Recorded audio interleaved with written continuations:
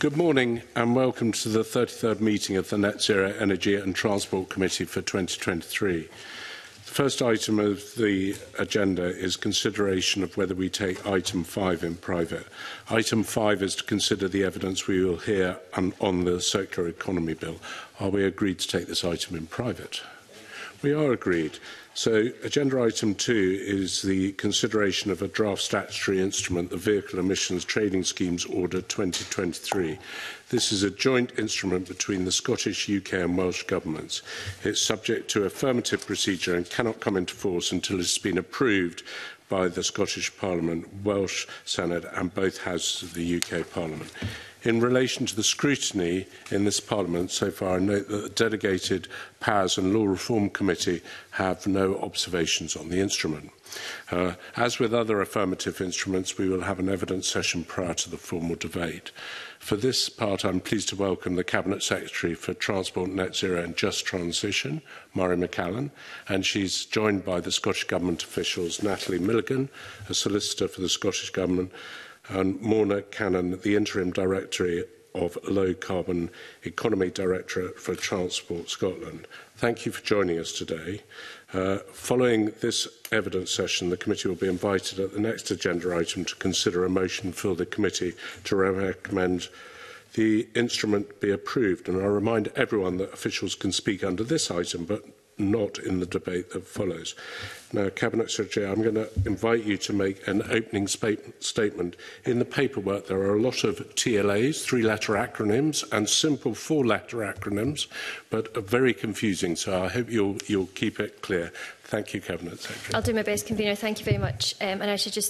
begin by apologising for the slight delay in getting started this morning. Um, and thank you for inviting me um, to committee today to discuss the draft Vehicles Emissions Trading Schemes Order or as it is more commonly known, the Zero Emissions Vehicle or ZEV mandate. Um, we know that we urgently need solutions uh, to support our journey to net zero and that critical to this is the decarbonisation of transport. Uh, transport is the largest contributor to Scottish greenhouse gas emissions, making up 29 of all emissions in 2019 and with road transport contributing at uh, 66% of those emissions. So it's critical uh, that the government does its utmost to ensure that everyone has options for cleaner and greener ways of getting around uh, and that without that in a way that is cognizant of their way of life. So jointly working with the UK government, the Welsh government and Northern Ireland's Department for Infrastructure and bringing forward the draft uh, uh, vehicle emissions trading scheme order for your consideration today. The schemes will put legal obligations onto car and van manufacturers in the UK to sell zero emissions vehicles each year and for a percentage of their sales to constitute zero emissions vehicles, ramping up from 22% of all those sold in 2024 to 80% of new cars in 2030. Uh, in parallel, the, the, the uh, CO2 standard scheme for the new non-zero emissions cars and vans will help drive down the emissions of the manufacturer's new petrol and diesel van fleets, so they work in parallel and bearing down in different directions. Um, the cost-benefit analysis estimates that through these schemes emissions alone, there would be 420 million tonnes of carbon dioxide in carbon emissions savings across the UK by 2050, and the figure for Scotland alone is around 40 million tonnes of carbon. Uh, and I would just bring to the committee's attention that it is intended there shall be a midpoint review to monitor the implication of them, uh, implementation of them, sorry, and it's intended this will be done on a Four Nations basis and uh, be published in quarter one of 2027. Um, We know that the Climate Change Committee supports the introduction of the schemes. They've highlighted how important they are, stating that the switch to EVs is the single largest driver of future emissions reductions and adding that the ZEV mandate will be vital in delivering these savings. Um, we know it's critical for everyone in every part of Scotland, and we've been cognisant of that when designing this. So we have asked for the inclusion of analysis on the impact on remote and rural communities in the cost-benefit analysis. Whilst done on a Four Nations basis, this was something the Scottish Government was able to ask for and to have done. Um, and also, of course, we're, we're bringing this forward in the context of the Prime Minister's recent announcements to push the uh, ban, the UK ban on um,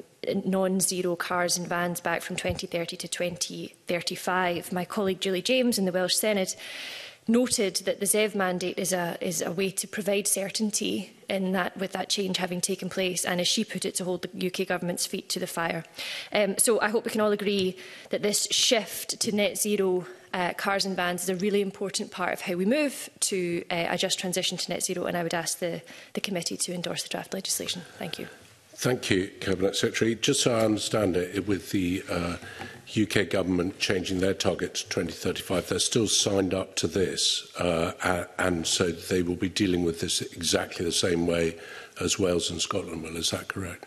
That's correct. So in the days after, I think it was in the days after the Prime Minister's announcement, we continued to work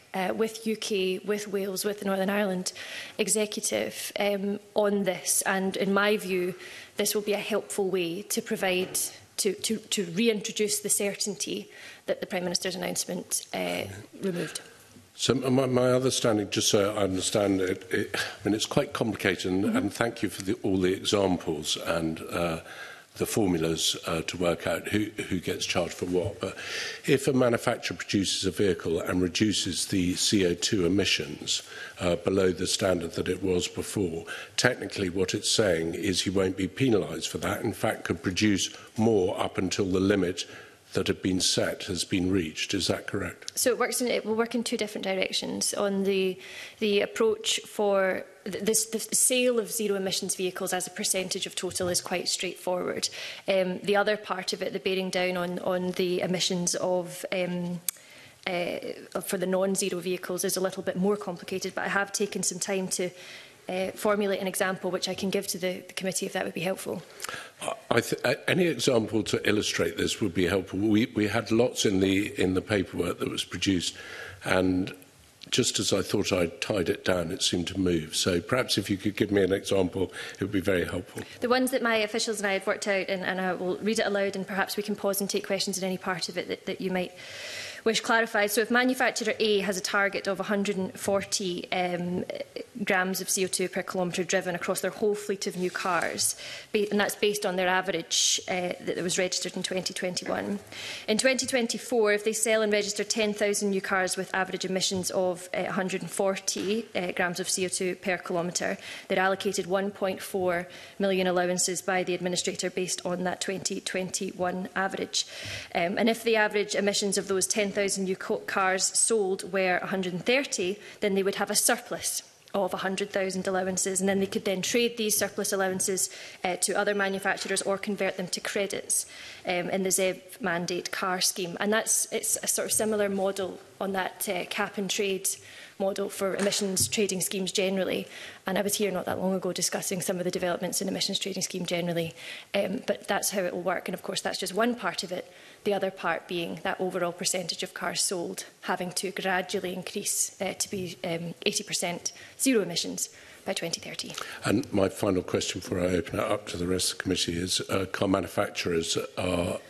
happy with this and understand it and want to see it move forward at pace. Is that what you're going to tell us?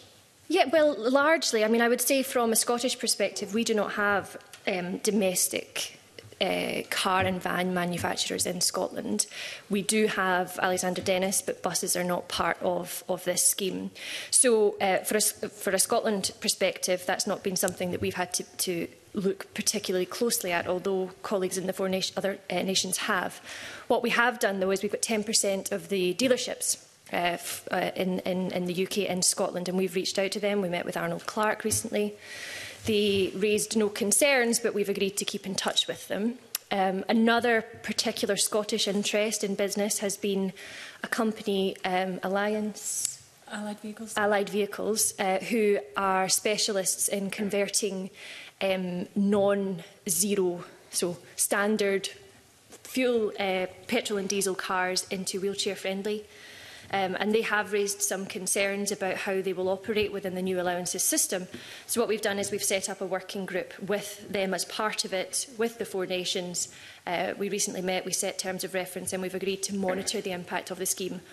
on their ability to continue uh, retrofitting cars to be wheel, uh, wheelchair compliant.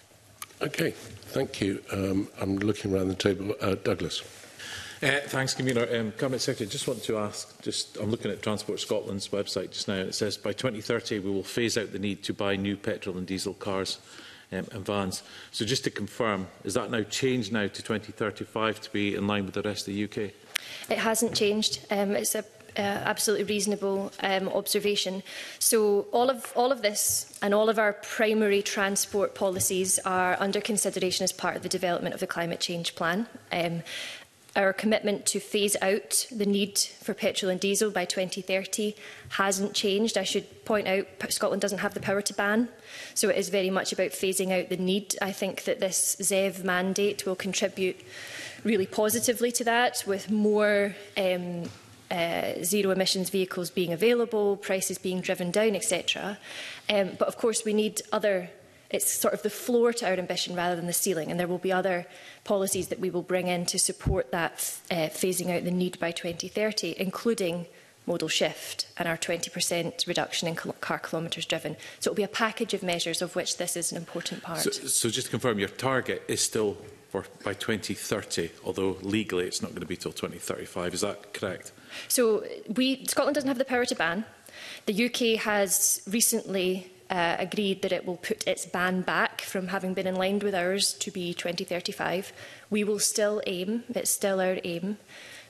to achieve having phased out the need for a new uh, fossil fuel car by 2030, albeit that is five years in advance of a UK ban.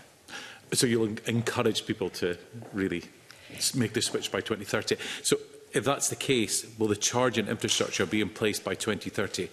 to enable people to make that switch if they want to? Um, yes, so it is, it's, abso it's absolutely about encouraging. It's about creating the circumstances where it's possible for, for people not to have the need to buy a new um, fossil fuel car. And as regards um, charging infrastructure, absolutely, I, I completely accept that that being uh, that growing will be absolutely required to support this transition towards um, zero emissions vehicles. Currently, as you will have heard uh, me say a number of times, we are in a good position. We Department for Transport Statistics did recently restate that Scotland has the, the second most comprehensive public charging network in the UK outside of London. We have invested tens of millions of pounds in that. And my colleague Fiona Hislop recently announced our new vision for public charging in Scotland, which will look to take us to 6,000 public charging points by 2030 uh, with £60 million pounds of investment, some of that public, some of it leveraging in um, private.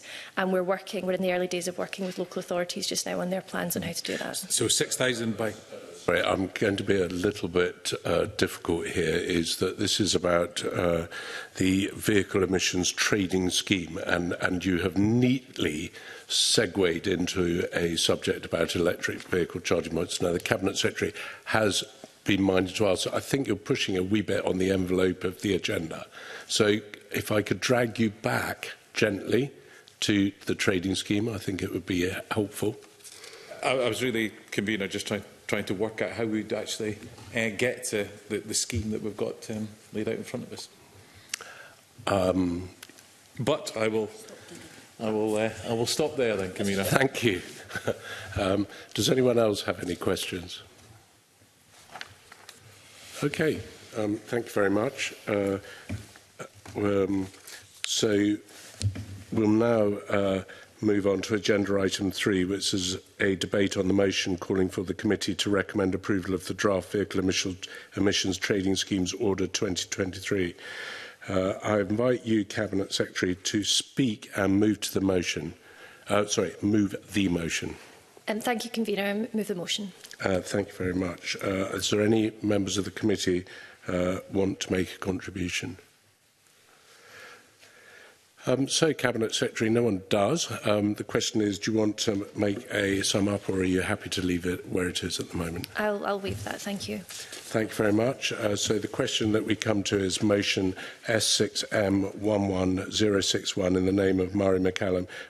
be approved. Are we all agreed?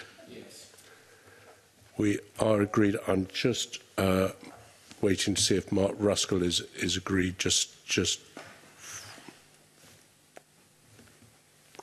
Sorry, just there is a technical problem with IT.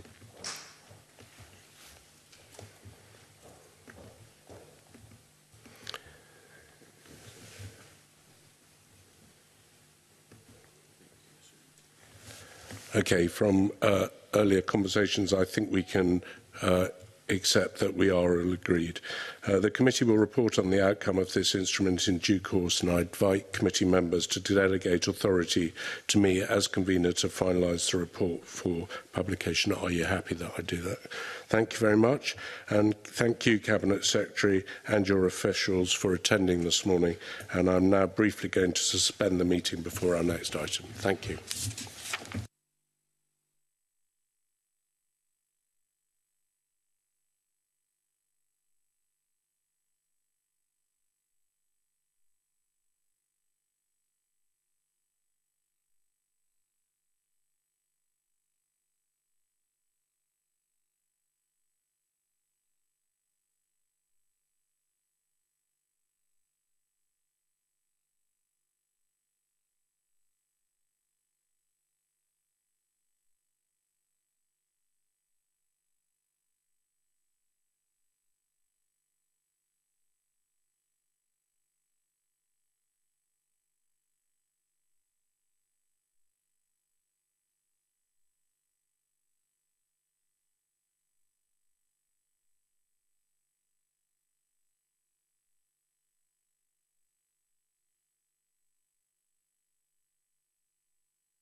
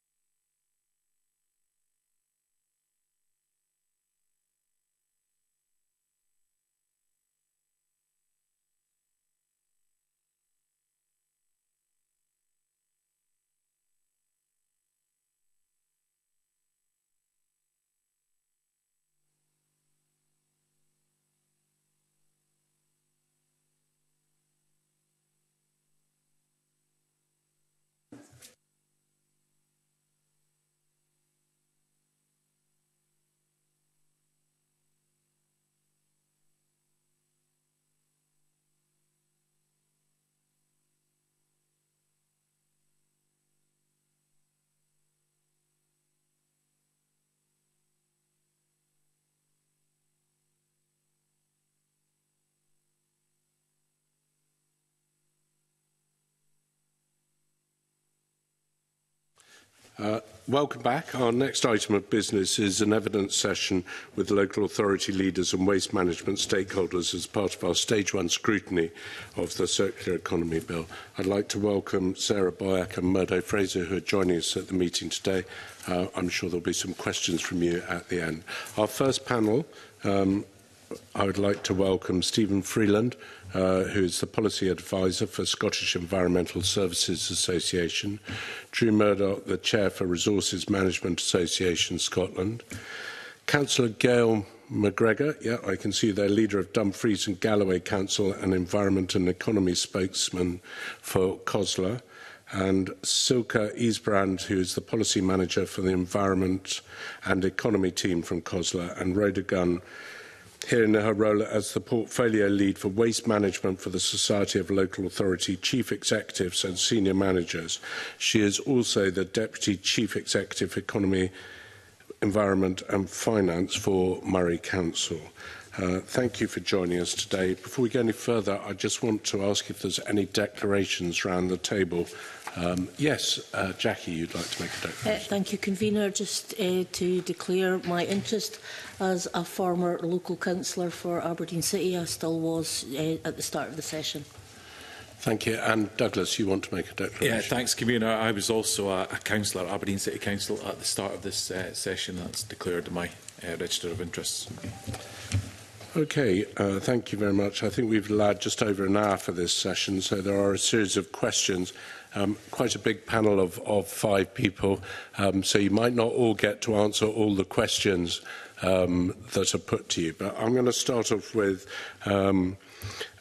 uh, an easy one, and I'll probably come to uh, just to warn you, uh, Gail first. Uh, and then if you, anyone else wants to come in on it, they can raise their hand. So what are the key areas where a circular economy strategy and national targets could help local authorities and the waste management sector? Gail.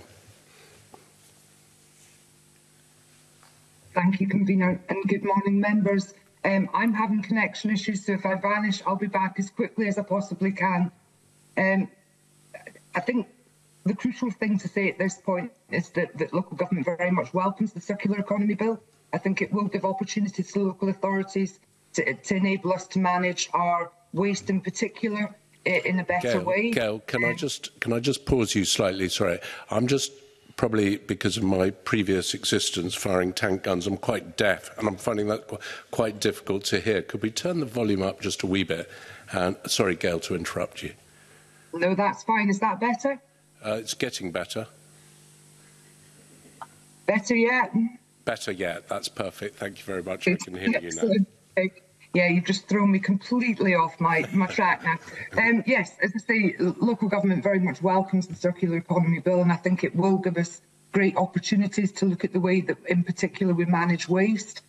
Um, the crucial thing for us will be in the co-design of the implementation and, and, and, and the strategy going forward. And I think we need to look to the opportunities. Um, crucially, uh, within that, obviously, behavioural change within our communities and the individuals that we serve will be pivotal and communicating with them and consulting with them to find out um, the, best ways of doing things will be absolutely pivotal.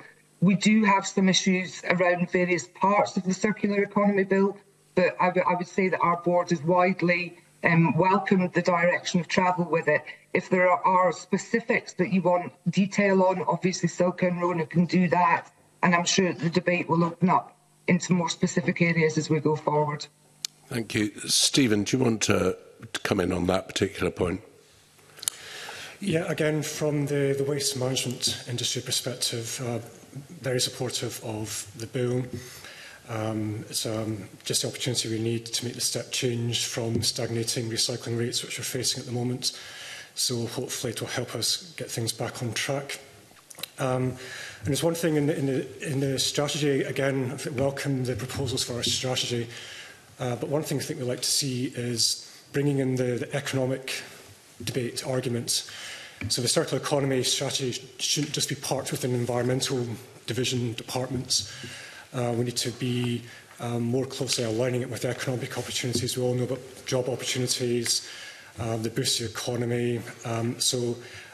I think we'd like to see it of a, a broader church of different departments involved in putting the strategy together and it's influencing other decision making elsewhere.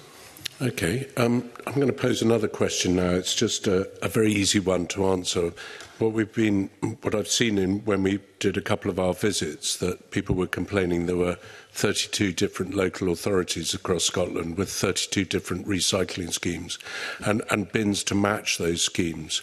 Um, should we have a cross Scotland thing? So when I go from one place to another, I know what to put in my bins, um, and they're all the same colour or, the, or consecutive colours. Rhoda, do you want do you, do you want to have a Rona? Do you want to have a go on that one? Thank you, convener. Uh, yes, I think it is a fair observation that schemes and approaches vary across the 32 local authorities in Scotland, but that is because the demographic challenges and geography are significant factors in terms of how waste collection systems are, are managed and constructed. So, for example, waste collection processes that will work in a an urban environment um, and curbside collection that's uh, suitable, for example, in a location like Elgin, will not work in a city environment where there simply is not space on the street to have a selection of seven different bins for different recyclates. There are particular challenges arising from rural rurality, particularly in an islands context, and from communal um, settings. And it is largely in light of that that this differentiated approach has arisen across Scotland. Um, one of the aspirations in the Code of Practice is to introduce a degree of standardisation where authorities agree that that is helpful and that will work for the challenges that they face in their particular area. But of course, um, the idea of local by default is a, a, crucial element of the Verity House Agreement, and we are all very conscious of the fact that above and beyond everything else, we have to meet our local needs and ensure that our, our consumers and businesses can dispose of their waste in a way that works for them. Thank you. Okay, I'm, I'm just slightly struggling to follow that in the sense that I, I understand local is, is important, but, but surely if we all knew exactly what we were to put into each bin and the bins were reduced, I think there's less bins in Edinburgh and you can do multi-recycling. Um, I certainly know in Murray, if you're lucky enough to have recycling bins, not everyone does in Murray, um, that, that there is a plethora of colours um, which may be different to other councils. Are you saying that you accept that's wrong. And we might have to, rather than recycle all the bins, put a sticker on saying this is blue or this is green. Um, so so uh, that we all work on the same system. I don't know what, I don't know what the solution is. Rona, do you want to just come back briefly on that? I think that some authorities operate a commingled system and some authorities um, offer greater segregation at curbside, but curbside segregation doesn't work in all settings. So kerbside curbside um, segregation doesn't work at nearly as effectively in communal settings. And as I said, in a rural environment, it's difficult to cost effectively pick up seven different bins. So there are different challenges that have to be accommodated in the waste systems that are set up in each authority. I think everyone has signed up to having um, standardized systems insofar as they meet local needs. But local needs do dictate elements of, of our waste collection processing. And, and, at the moment, there is quite a significant emphasis placed on rationalizing our processes for curbside collection. But there is an argument that commingled collections might be work more effectively in some settings. So I think collectively we want to see better collation of evidence of what works well in some areas and what works less well, why, so that when we embark on co-production of the code of practice, which is um, the objective of, of both COSLA and um, Scottish Government, that we are doing that from an accepted evidence base. Okay, uh, the Deputy Convener, Ben, wants to come in. Ben. Th thank you, Convener. And, and, and just on this uh, thematic point about the balance between standardisation and co-mingling curbside uh, and curbside segregation, th there was some evidence that we heard on one of our visits to uh, a recycling centre that the most helpful way of segregating would be three different aspects glass, then plastics and metals as the second group, and then the third group as paper and cardboard.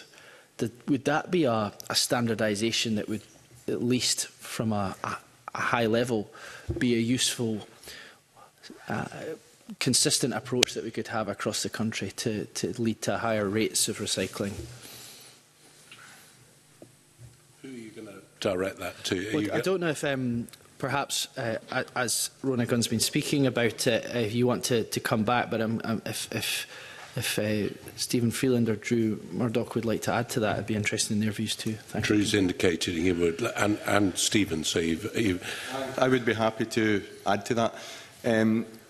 and, and, and I get what Rona Gunn is saying there, and, and she's got some valid points, but what you've got to look at for recycling is where is the material going?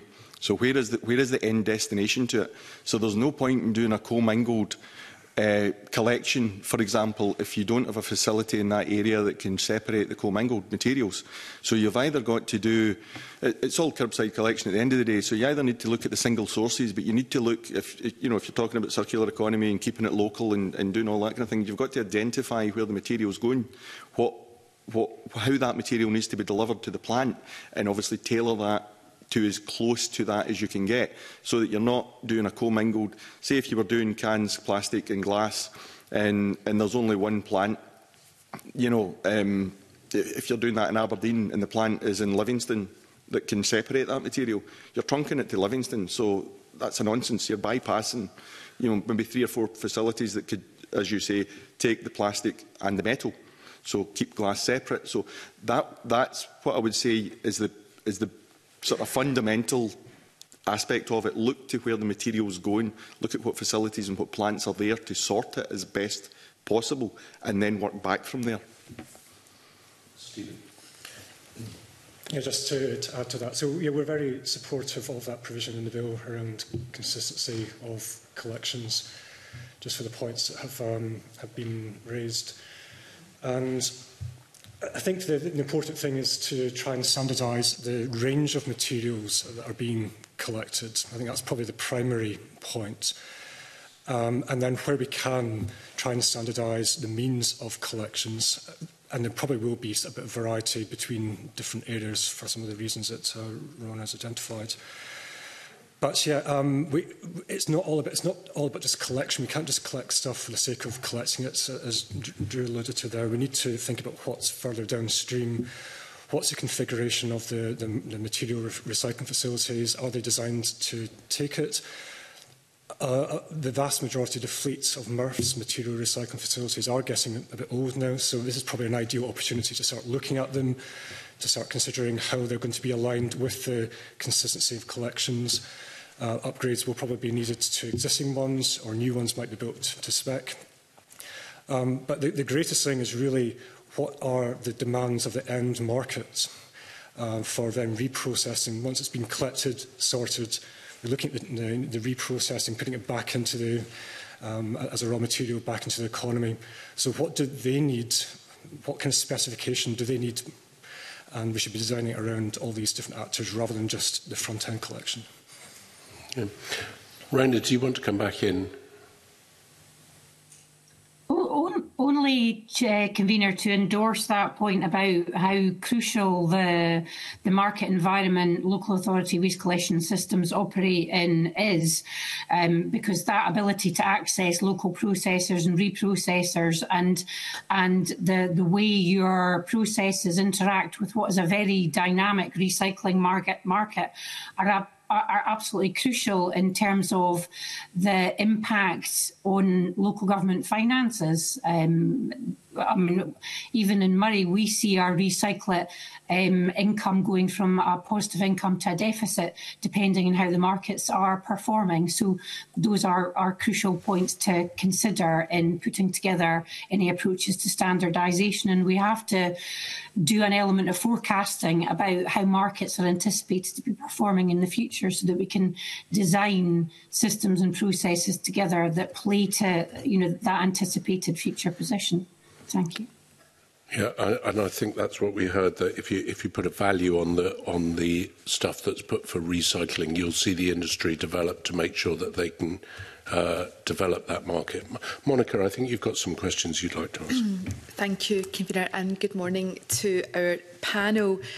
Um, yeah, Councillor McGregor, you opened your remarks by saying that there are there are opportunities with this bill and you talked about the importance of co-design and uh, implementation and strategy. So um, with that in mind, um, I'd be keen to hear from our panel today, aside from its you know, obligations and, and role in waste management, um, how else local authorities can contribute to a circular economy. Um, I think Stephen Freeland touched on the economic side of it in terms of jobs and, and, and that opportunity uh, locally. But what other examples and opportunities do you see? Um, planning comes to mind, public procurement, but in terms of that co-design work and that more granular work, what are the kind of issues you would like to see um, covered in the bill going forward? Uh, maybe come to Councillor McGregor first, but keen to hear from others. Thanks very much, Monica. Morning. Yeah, as I say, I think there's a lot of opportunities in there. What we need to be mindful of as well is that the, there are some areas which are going to be slightly problematic for local government. Um, and obviously, as we're working through the design, um, the circular economy bill in of itself, which it is our is our target, much of the bill is very much around waste and there's no getting away from that. So other elements of the bill are, are welcomed and will be valued. But from our perspective, the waste direction is the area that we very much have focused on, and we've focused on that in our submissions as well. So I think the key thing for us is to work very closely with the minister. We have that commitment. I've met with her on a number of occasions, and I, and I think there is a genuine desire for co-production and partnership within the development of of the strategic operational elements of the bill. But we are mindful that there is the potential for penalties for local government, which, is problematic for us, obviously. Um, as I said earlier on, what we need to be doing is trying to sort of introduce behavioural change within our communities. And the key thing that we've found um, through waste right along the way is that if we can take our communities with us, they sign up to it very quickly. Um, people are very, very exercised by having their bins emptied, whichever colour the bin may be. So um, there are a few things that we do need to iron out um, in the waste area, and obviously funding we will probably come to at another point. But I think the opportunities that are there um, and, and how we bring private business with us and, and responsibility of um, the, the producers as well will be incredibly important. And that's why I think it's vital that that co-production with the minister um, and other partners will, will get us to where we need to get to. But it has to be a genuine desire for food production Thank you. Um, Selka, do you want to add to that? Sorry, thank you.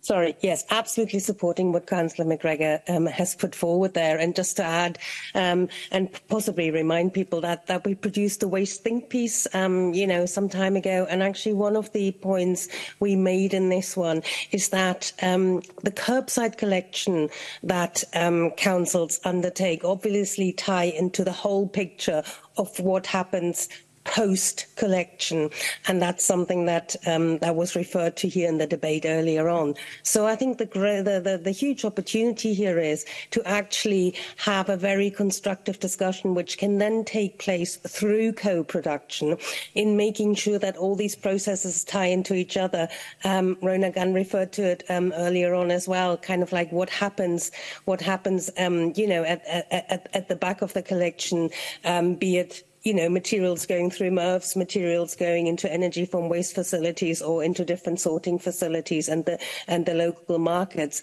And what is missing for local government um, a little bit at the moment is that um, there isn't any um, certainty about which materials um, would create which income streams, um, which materials, um, if they were separated more tightly, would have local markets. So the co-production is a real opportunity to tie up um, some, some, some, some, some connections here more, more, more tightly.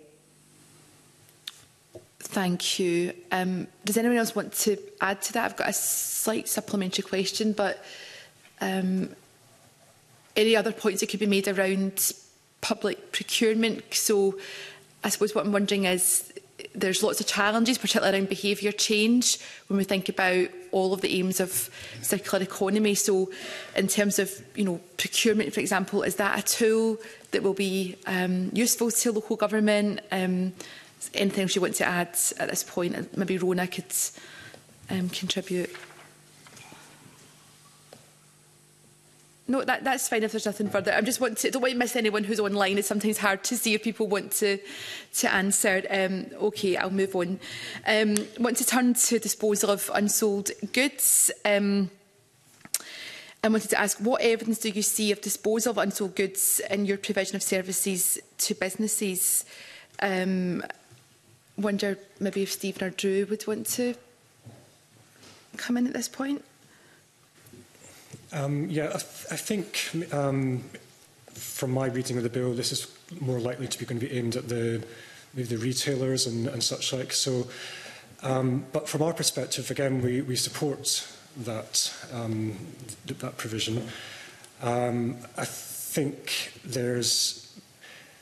the focus should be on the higher carbon impact materials, so things like food waste and textiles.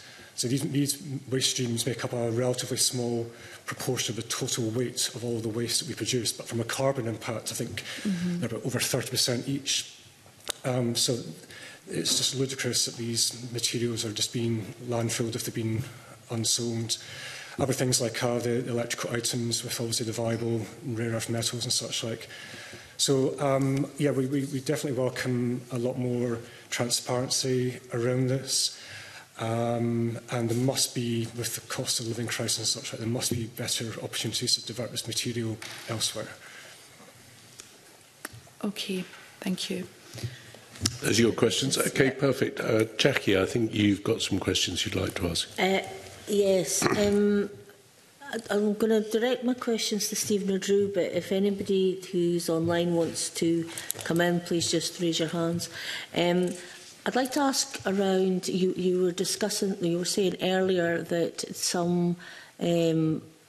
waste is, is more problematic than, than, than others. Um, sorry, I think it was the, the panel online that was saying that. But um, how would you like to see those uh, tackled through the, through the bill? Um, especially, you know, we've not discussed it yet, but there's, there's a proposal about single-use charging as well. I'd be interested to hear your views on that.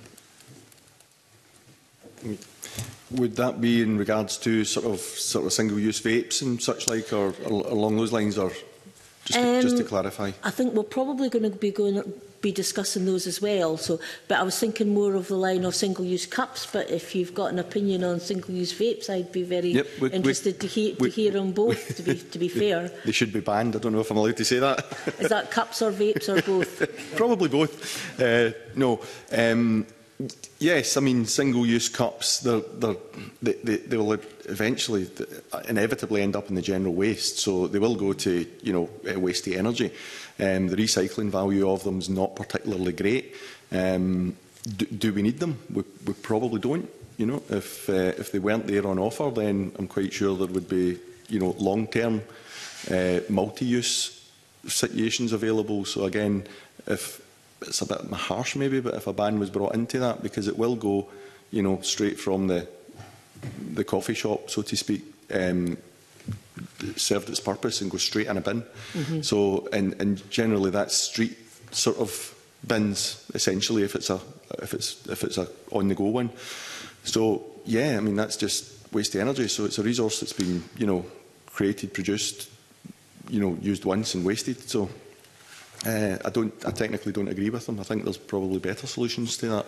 The manufacturers of those cups may not agree with us, uh, and that's a different matter. But yes, I think the, the single use should be really targeted in because I don't think there's a need for anything really to be single use. Uh, sorry, just we, just on that, you, you didn't answer on the vapes, which you offered an answer for. It might come up later, but the single-use cups, I understand. Yep. Um, the, the vapes is an easier one because they're dangerous as well. Indeed, they? yes. Single-use vape, for a health perspective, you know, uh, I do I do vape myself, so it's slightly better than smoking 60 a day, but um, it's it's also addictive as well. So I'm trying to kick the vape, uh, and I don't use the single-use ones. I use the the, the, the refuelable. But um, the single-use ones, again, I don't see a point. There's there's there's the option for the, the, the reusable ones, so they should be the first point of call. Um, There should be possibly a deposit return scheme system. Um, there's enough vape shops going about, so there should be a sort of take-back scheme along those lines, and those people could be actually, you know, dealing with a proper waste contractor to dispose of these items in a sensible manner. Um,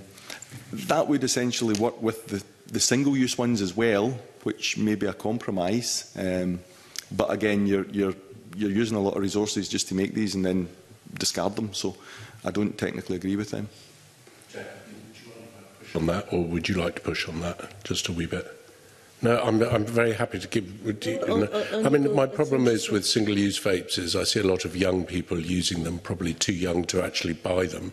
So if you actually... I mean, you've only got to go into Inverness on a, on, on a normal day after school to see whether, where young people are queuing up to buy them they're hardly going to give them back to get a return back if they shouldn't have bought them in the first place. Mm. So uh, it's an interesting argument, not one that I, I would hold with. But uh, to follow on from that, the the idea of because it's I think it's the batteries that are the are the biggest problem.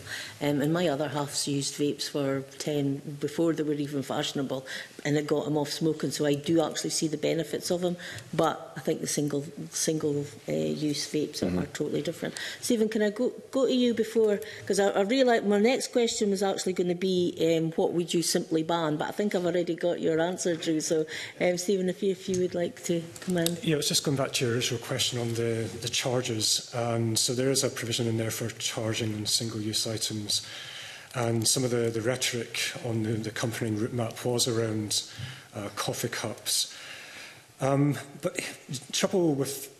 charge, I mean, as, as Drew um, alluded to there, that the trouble is uh, it's, it's difficult to recycle these mm -hmm. items. And a charge wouldn't necessarily address that um, because you would 10 pence, 20 pence, but you've still got this item which you can't do anything with. Um, so yeah, I would actually, some items I think would need to be banned. and I think that's going to be a harder ask, uh, given, the, um, given the, the positor on that. Um, and we've, al we've always said that some of the more problematic niche waste streams um, should fall under a deposit return. I wasn't sure it would be escorted off for mentioning the deposit return. I don't I'm allowed to use that word anymore. But um, I think it does have a value for problematic niche waste streams, uh, such as things like um, uh, small items with batteries and vapes and such like. But, uh, but yeah, the, the, the charge aspect I think needs to be looked at properly to make sure it actually delivers a recycling solution at the end of it. Mm -hmm. And is there any other, I mean, we're, we're speaking about single use just now, but is there any other waste streams that, that maybe isn't single use that you would, that you would feel is uh, problematic because I'm also aware that we're always looking at the consumers to do something when sometimes it should be the manufacturers taking some responsibility for these things. Or is that... The, the, the most problematic waste stream for us is anything that's got a battery in it. Okay. So anything, in the, anything with a lithium battery um, is now just turning up in the wrong place and it's, is causing fires on the collection vehicles, it's causing fires in the plants. Uh, it's coming, e, even at um, going through an energy from waste process, it's still coming out at the back end. Yeah. Um, so the, anything with, um,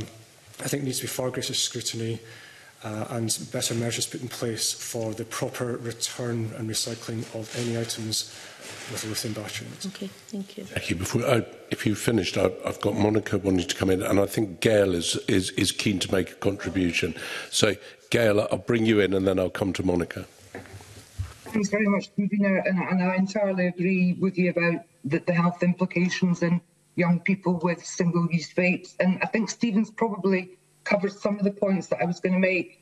Um, obviously, we, we need to look to the consumer again for behaviour change, and, uh, and, and preferably the carrot rather than the stick initially. But I think if we think back to when um, carrier bags in supermarkets were first imposed with fees, there was a bit of a furor about that, and actually the, the public generally accept now that they pay for a bag or they take one with them, and, and behaviour has changed with that. Um, just going back to the, the disposable vape, we are having issues now in, in local authorities where, um, as Stephen said, the risk of fire um, is beginning to impact on councils' abilities to ensure their mechanical biological treatment plants and insurance fees are increasing exponentially in some local authorities, and that risk is very much wired in now um, to our waste strategies and the additional costs that that incurs. So I think that councils would very much welcome some intervention in that single-use vape space um, because they are becoming incredibly problematic and dangerous. Thank you, Gail. Monica. Um, thank you. Yeah, on the back of Jackie Dunbar's questions. I'm keen to hear what the panel think of single-use nappies in the context of the circular economy bill. We know that a small number of local authorities, um, I think North Ayrshire is the best example, where they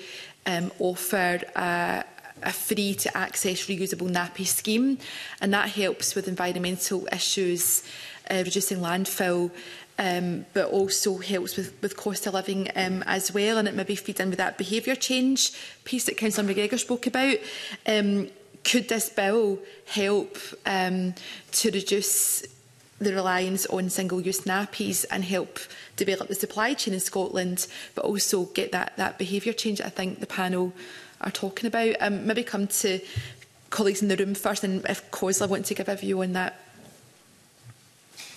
I could uh,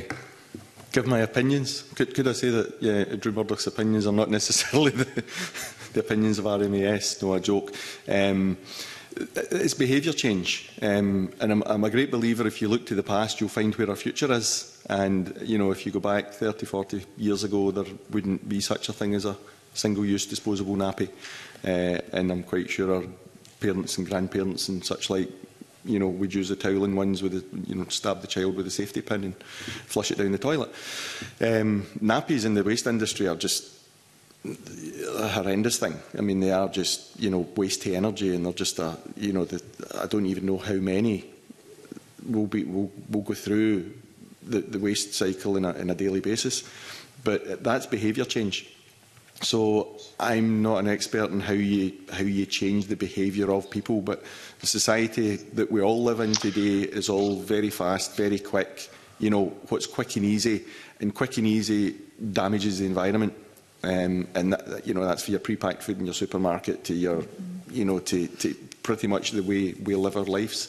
So it is that behavioural change. It probably starts at school. Uh, it should come. It should come right through um, the education system.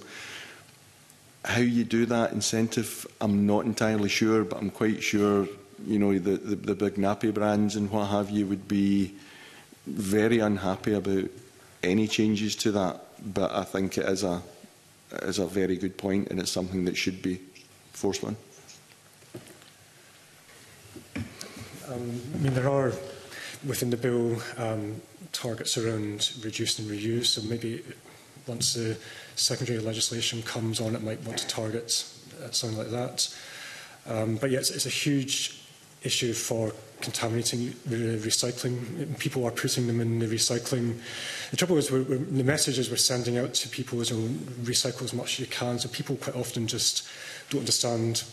what can and cannot go in the blue bin. Um, so yeah, are, they are contaminating recycling once they're coming through the system. Um, and unfortunately, just a whole load could be, a whole batch could be contaminated by that. So anything we can do to, as I say, um, go down the reuse option, I think we should, uh, should embrace and adopt. Okay, I'm keen to come to Councillor McGregor, but just to add to that, um, you know, purchasing um, cloth nappies or reusable nappies, that can be quite expensive for families. So I understand why people would go to supermarket and buy the, the alternative. But the, the schemes that I'm talking about, particularly the North Ayrshire one, that's free for um, residents to access, but the council say it's cost neutral because of the savings with landfill costs. But I do understand there's now a waiting list, so that's encouraging on the one hand. There's a demand for these products, um, but local authorities maybe are struggling to keep up with that demand right now. But keen to bring you in, Councillor McGregor. Uh, oh, excellent. Thanks very much, Monica. It's not a scheme that I'm particularly familiar with, but I think that it's a good example of what councils can do in an innovative space um, around that recycling or reuse. And as you say, NAPA's a huge issue. I had three children under 14 months at one point, um, so I'm very familiar with single-use nappies, I'm afraid, and I, and I do think it comes down to incentivising and um, making it easy um, for the parents or, or carers to, to, to, dispose of or reuse.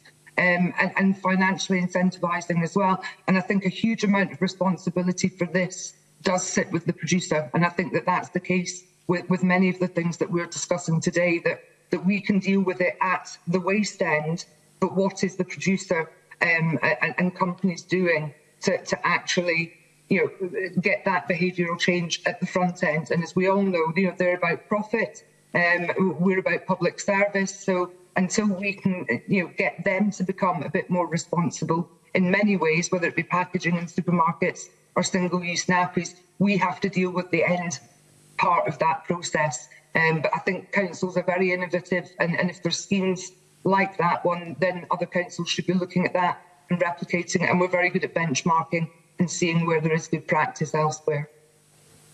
Thank you. Uh, Silka, do you want to come in? Yes.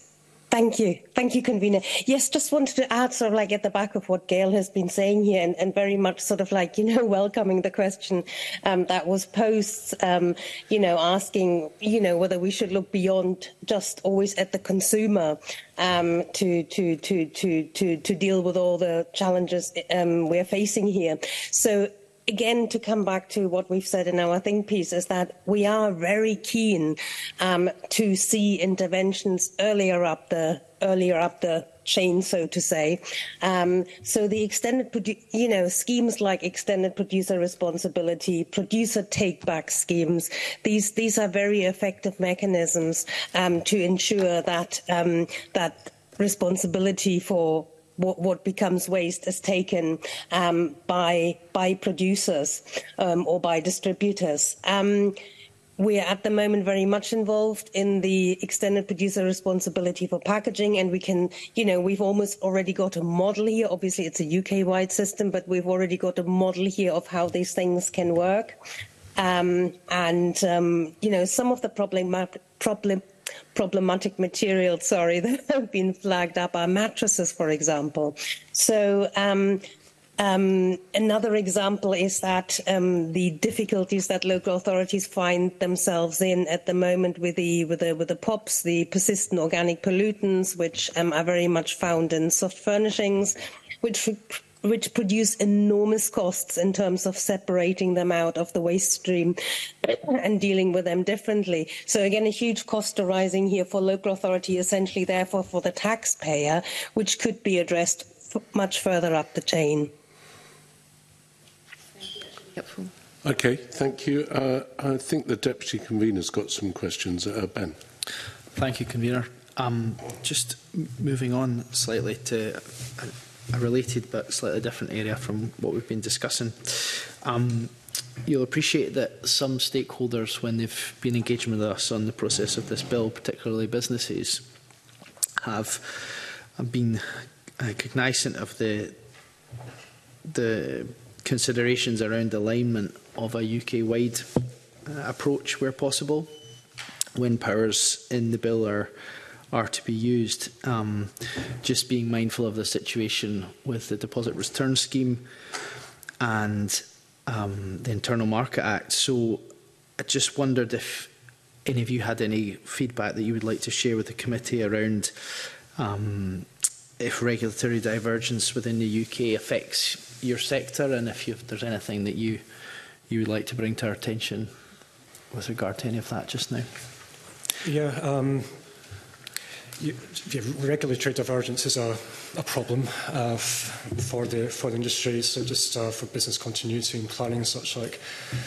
So um, the, the big change I think for us is going to be under EPR, extended producer responsibility. We're all pinning our hopes on EPR as being the big step change that's going to um, improve the recycling situation. Um, so I think that has been led at a UK level, and I think the Scottish Government uh, has been is, is heavily tapped into that. But also from other perspective as well, uh, I mean, Scotland is a small country. The waste that we're producing and the materials we're presenting to the market are, are quite small. So anything we can do, and it feeds into some of the discussions we've had already around consistent collections and such like. We want to produce as much material in a consistent, bulked up state uh, which it, that makes it more attractive for the reprocessing markets and to attract investment as well. Um, so some of um, the some of the investments and some of the facilities we're going to be um, building won't all be local. Some of them will be on national, so you don't need a plastic re reprocessing, reprocessing facility in every local authority area. Uh, whereas some of the things are maybe reuse, repair, that might be a bit more local. So Um, so I think we do need to be conscious of the, the national picture. And we also, again, need to keep an eye on what's going on in, in Europe as well. And for example, the, um, the, the plastic tax. Um, we want to ensure as much parity as possible across the board uh, to ensure that um, if, if, for example, a plastic tax might be higher elsewhere, it might suck um, plastics from the UK off to Italy or Spain, where there's more an incentive to, to get recycled plastic. So, um, yeah, we need as much consistency across the board as possible uh, uh where, where that can be delivered. So, I, think that, that was interesting to hear your thoughts there because a lot of the consideration with regard to uh, alignment, whether it's EU or, or UK, the considerations are around the producer responsibility and uh, products being sold in market, but you're saying actually the recycle it, the waste um, that comes from the processes and, and being able to trade that into into other markets is also something to be to be uh, cognizant of in the in the process of and implementation of this bill. Does anyone want to add anything uh, further to what Mr Freeland said? No. I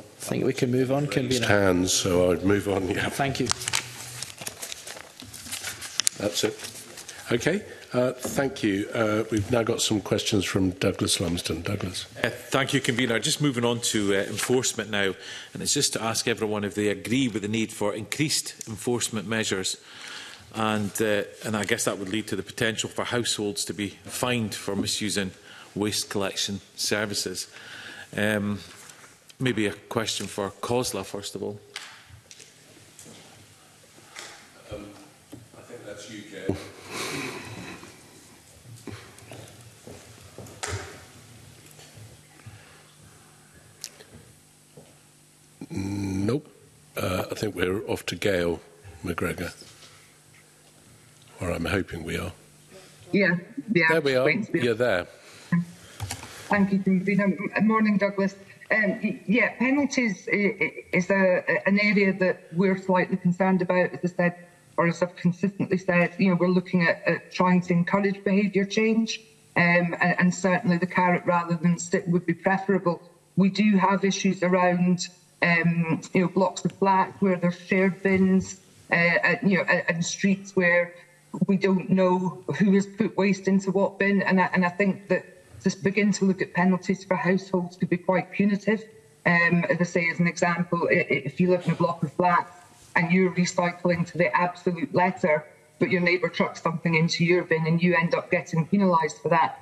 So, I mean, that's the worst case scenario, uh, obviously. And I think that, that local councils would take a, a lighter touch approach um, but obviously, as with anything that involves enforcement, that involves manpower and additional resource. So I, I think there's a lot of complexities around that. Um, and, and, certainly we, we, wouldn't be pushing down um, the enforcement route at this particular stage as a preference. Um, I think just trying to ensure that you've got the right processes and, and vessels in place um, to, to, make people aware of the, the change that they need to make. Um, and, and enforcement is fine in terms of fly tipping, but I think household enforcement would be very punitive.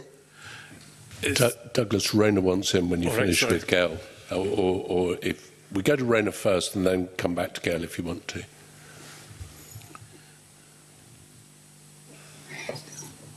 Thank you, convener. Uh, yes, as, as um, Gail has said, this is an area that is, has raised a number of concerns. I think I've heard concerns articulated quite frequently about the risk of creating a two-tier system in terms of household waste contamination um, because for kind of standard urban dwellers, uh, you know, avoiding contamination and recycling appropriately might not be problematic. But for some of our more complex households who are probably wrestling with cost of living challenges and, and other challenges within a, a family environment, contamination is probably a much harder thing to control. And do we want to be introducing the idea of financial penalties? into that, that sort of environment. Um, and also my understanding is that um, when financial penalties were introduced in England, that was not seen to be driving a, a step change there. So I think it's important that we learn lessons from what has been tried in other areas in terms of what has been shown to be successful and what is less successful. Behaviour change is what will drive um, changes in curbside recycling and contamination of waste by householders first and foremost and not the imposition of penalties in my view. Thank you. Stephen wants in, I think, now. Um, so obviously, I, I don't have to worry about local politics. It's always a, a strong issue for some of the colleagues on the panel. Um, but we were also supportive of this measure in the bill. And I think it's another tool within the armory, I think, and it should be used sparingly and as a last resort. But it's when we look at the, the supply, the material supply chain and the contamination through the supply chain is a huge issue. So turning up at a material recycling facility, some loads can be 20, 25, 30% contamination. That's either the wrong material in the wrong container or just a non-recyclable item altogether. So I think householders play a very important role and that they're at the very front of this supply chain There's about four or five actors stages beyond them. We need to get things right at the very front, making sure people put the right thing in the, in the right container. Um, also, uh, as a, an aside to that as well, I think there's um, sign around there about duty of care for householders, making sure that they're doing a, a kitchen conversion or something that um, they're producing a lot of waste, that it goes to an appropriately authorised person rather than fly tipped. And that's an existing duty on them. I think it's suggesting that that might be a penalty for that as well if, if they if they if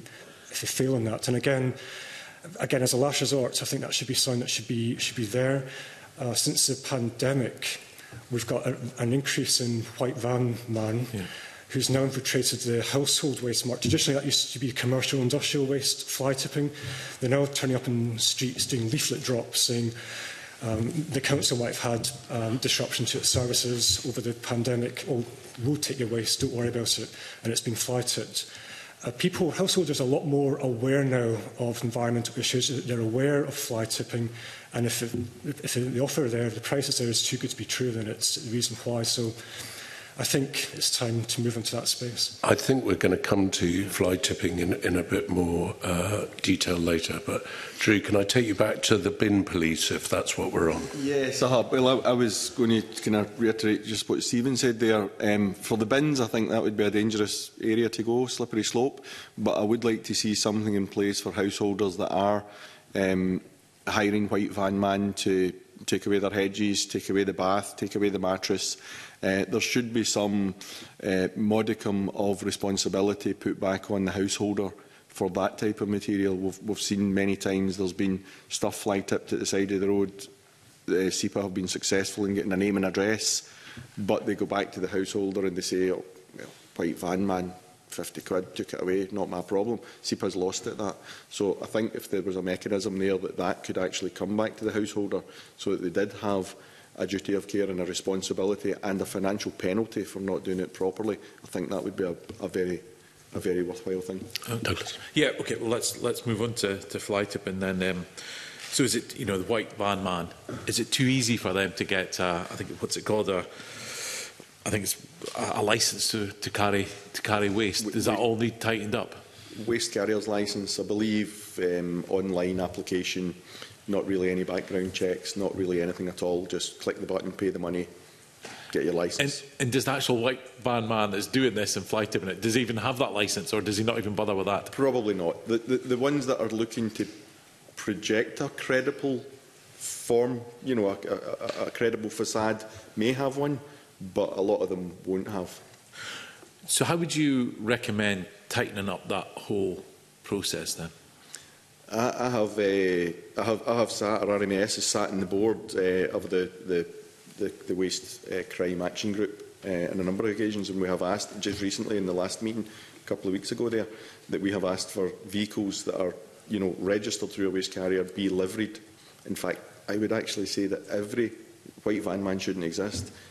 Every vehicle should be liveried. If we look at any of the reputable companies in the waste industry, every single one of them has their name on their door. They have the name emblazoned all over their trucks, all over their skips, because it's an advert.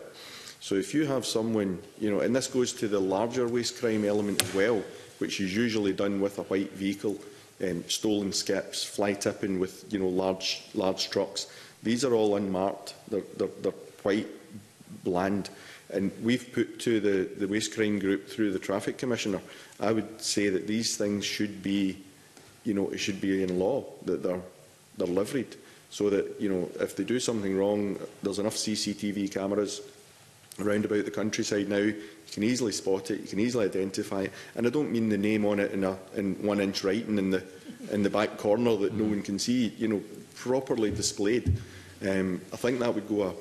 huge way to preventing your fly tipping.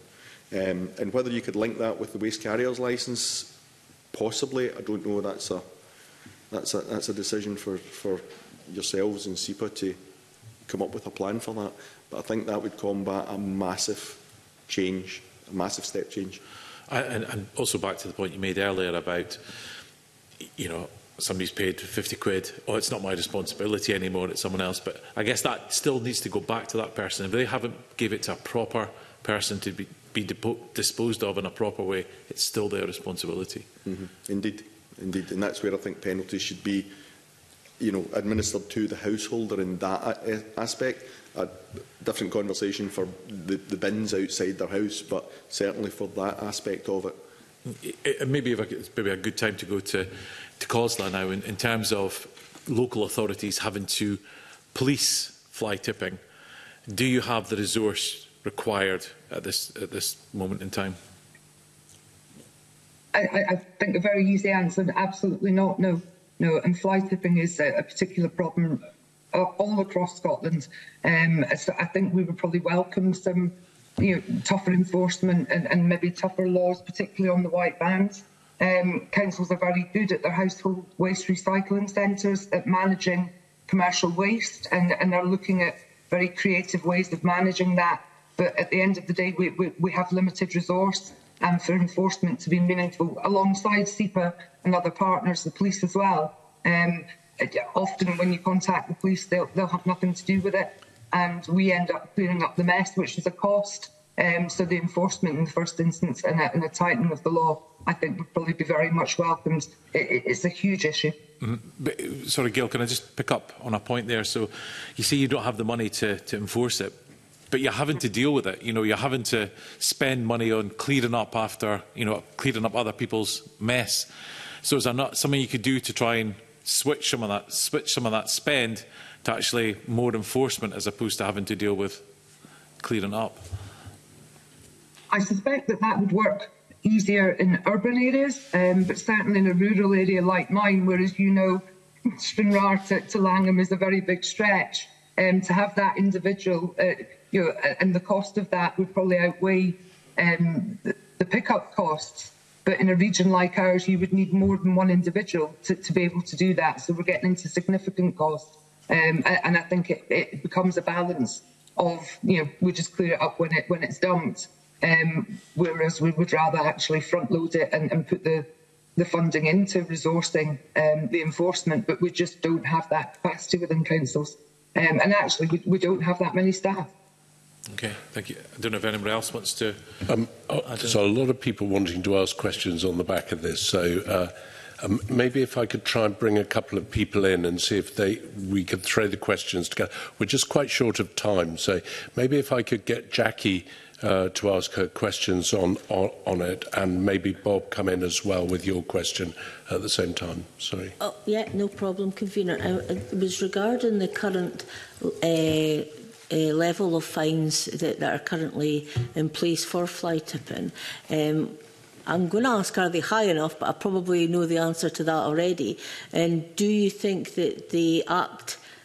as a, de a deterrent? Or, um, and do they cover the cost of removing the, the dumped waste? do you have a question linked to that? Yeah, so uh, if you want to work together for, for time constraints, convener, uh, I wish let the convener know. Um, my issue is whether the data on fly tipping is robust because in my experience there's always like hidden fly tipping and local authorities across the country have got bulk uplift charges, which could be prohibitive at times, and local residents quite often uh, put their household, old baths, old cookers, old televisions beside what would be communal bin areas, but is not covered by the, the uplift from the local authority. And that's eventually deemed to be fly tipping and then collected at the cost of the council. It's whether that's captured in data. So the 60,000 annual incidents that are uh, in the Scottish Government stats. I wonder if that's an underestimate, if I've got a clear definition of what fly tipping is. I know there's time constraints given but I thought that was an important one to ask. Okay. So just in the evidence that I think was submitted to the committee, we heard that it should be a cost of clearing up times five, I think. You know, some people might suggest it costs clearing up times 10. Who wants to go on the cost and who wants to go on helpful people putting stuff next to bins which isn't covered by bins removal? Um, you can't all look away. Um, so why, don't, why, uh, Gail, why don't you try the cost uh, recovery bit? And do you want to do that? Is, are the fines big enough? I suspect not. Otherwise, they, they would they would work. I'm actually going to turn to Rona because I think she might have a bit more around the data and, and, and the cost implications. Um, but, but certainly, again, you, you can impose any level of fine, but if it's not enforced, and the messaging doesn't get out there that people are being fined for it, it is, it's not a preventative. So it would need to be built within a campaign um, in a local area that a number of people have been fined to the maximum amount, and if you do it, you will get caught and you will be fined. But if we can't get to that stage, then I don't see that behavioural change coming. And we need the support of the police and SEPA in that as well. And, and I have to say that on occasion, we don't always feel that we get that, that sort of collective support. Okay, so Rena, over to you. Murray Council's got a huge record on, on dealing with fly tipping and are the fines enough? Or maybe they haven't got a huge record. It's, it's not. I mean, we have an issue with fly tipping, as all areas do, but it is not a massive issue in, in Murray. Um, but I think it is fair to say that the fines are not enough. They're not high enough to act as a disincentive to white van man. Um, and uh, definitely that is an area that has to be looked at. But also, as has been alluded to previously, we have to look at the wider costs of enforcement. Because if you're trying to cover a large area and actually gather credible evidence of fly tipping, that takes resources. So so any enforcement system has to be fully resourced in order to be effective. I'm afraid I don't have statistics about the extent to which um, materials are classed as fly tipped that have been placed for uplift alongside standard collections because of um, views that bulky uplift charges that most local authorities are having to levy now rather than providing free services are unaffordable. But to me, that takes us back to that issue of to have a system that works, local authorities have to be resourced fully in order to operate uh, uh an enforcement management system effectively, and fines have to be at a level where they are an active disincentive to those who are carrying out this illicit trade. Thank you. Okay, no one's actually taken uh, Bob's question on on on uh, thing. Do, do, have you? Do you want to pose it, delve a little bit into that before I come to the deputy commissioner? Um, I think I think Rona Gunn actually, uh, I think did address it. I, I think in a lot of urban areas there's a prevalence of people just putting household goods for disposal at bin area locations that is not covered by local authority uplift. Uh, my understanding is it sits there for a period of time and then it's classified as fly tipping and is uplifted at the cost of the local authority anyway. And it's about standardising that data collection across the country to see the extent of the problem and finding, as Rona Gunn said, it's about finding more efficient ways of tackling that issue. But I think Rona Gunn uh, agreed it, it was an issue, I think, but there, we don't have robust data collection on it. Okay, I see Rona uh, nodding. Ben, do you want to come in on us? Just, just briefly, we've heard in previous evidence that if Uh, so, so, in urban environments in particular, two, some of the most uh, commonly fly-tipped items are sofas and mattresses. And we've heard that as part of this bill, if we could place obligations on providers of, say, a new mattress to take away the old one, that would be of great assistance. And if we were, through this process, able to enhance a system where the producers and suppliers of these often fly-tipped materials in urban areas took responsibility for that waste, could we then move to a position where, as um, Jackie Dunbar later raised, where you have other miscellaneous items that are placed around bins and it was properly funded, move towards a system where the bulky items could be picked up free of charge by the local authority? Because to me, that seems like the place we want to get to, uh, because it is uh, a lot of the, the, the fly tipping that's happening is, is because people are either unaware that they're fly tipping because it's, it's just smaller items uh, or they're finding it difficult to either pay for or get to uh, the the the waste um, the waste sites on on the periphery of cities normally.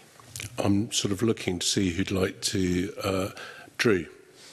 Um, I can give a couple of scenarios here and a couple of suggestions which may help towards your question. One of the ones is that the, the, the Woods and Pops uh, legislation that's come through for the fire retardant sofas, uh, I think we're going to see a massive amount of sofas at the side of the road, in the countryside, lying about the streets coming forward. Um, there's not really the facilities in place. They've been banned from landfill. They've been banned from landfill for, for a number of, a long period of time. SEPA will enforce that come the end of January, I believe. Um, we have a dilemma in, in, in our members' businesses that they're looking at just saying, well, we don't take them anymore. So if you're hiring a skip or you're hiring a, a van for a clearance or something, then this is going to be separate. I believe the Highland Council as well uh, have decided that they are not going to allow them into their HWRCs.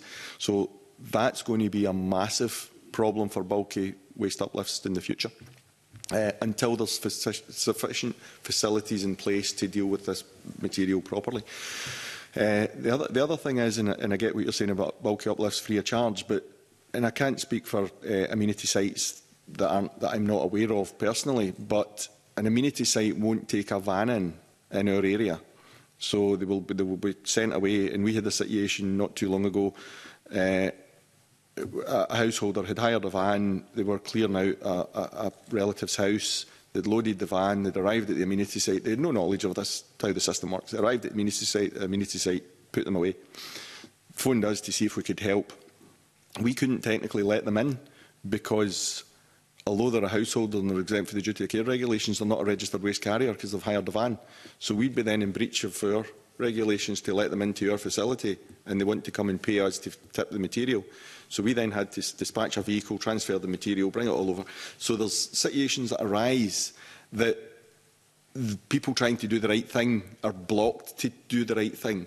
Um, maybe the amenity sites should look at um, charging, you know, having, having an actual charge mechanism for things like that. So it's not everybody that wants to put a three-piece suite in a bathroom um, from refurbishing their house in the, in the back of their car. So they might want to hire a van, but they hire a van, then they're, they're, they're, they're, they can't get into the amenity site, so they, they maybe hire a white van man. So we could be potentially putting blocks in people's ways that want to do the right thing. So it's maybe something worth looking at. Very important to hear. Yeah, that's interesting. Um, now, normally I take members who, who've joined uh, the committee for a specific session at the end, but I know Meadow Fraser's is, is specifically on fly tipping, or I suspect it is. I hope it is. Um, so I'm going to bring you in briefly, Meadow. Could, could, I, could I say three questions at the maximum okay. if, you, if you could limit it to that, please? Thank, thank, thank you very much, uh, Convener. Um, yeah, I do have a particular interest in fly tipping. I've got a, a member's bill in preparation on this, and I, I welcome particularly Section 10 of the, the bill, which does create this uh, enhanced duty of care on the householder. I'm going to ask two questions, Convener, but I'll ask them at the same time, if that's all right, because actually a lot of the questions I would have asked have already been, been, been covered. Um, so firstly, uh, maybe I could direct this firstly to, to Gail McGregor from, from, from COSLA. Um, firstly, on this question of the fixed penalty notices, currently these, this sits at £200. I think we all accept that's nowhere near the level it needs to be to act as a deterrent. Scottish Government are suggesting, although it's not in the bill, but they suggested in their strategy they would look to increase that to 500. Uh, and my question is, is that enough? And is there some mechanism whereby that money raised could then be recycled uh, into greater enforcement? And how, how practical is that, effectively, to try and ring-fence money raised from fixed penalty notices to deal with the resource issue?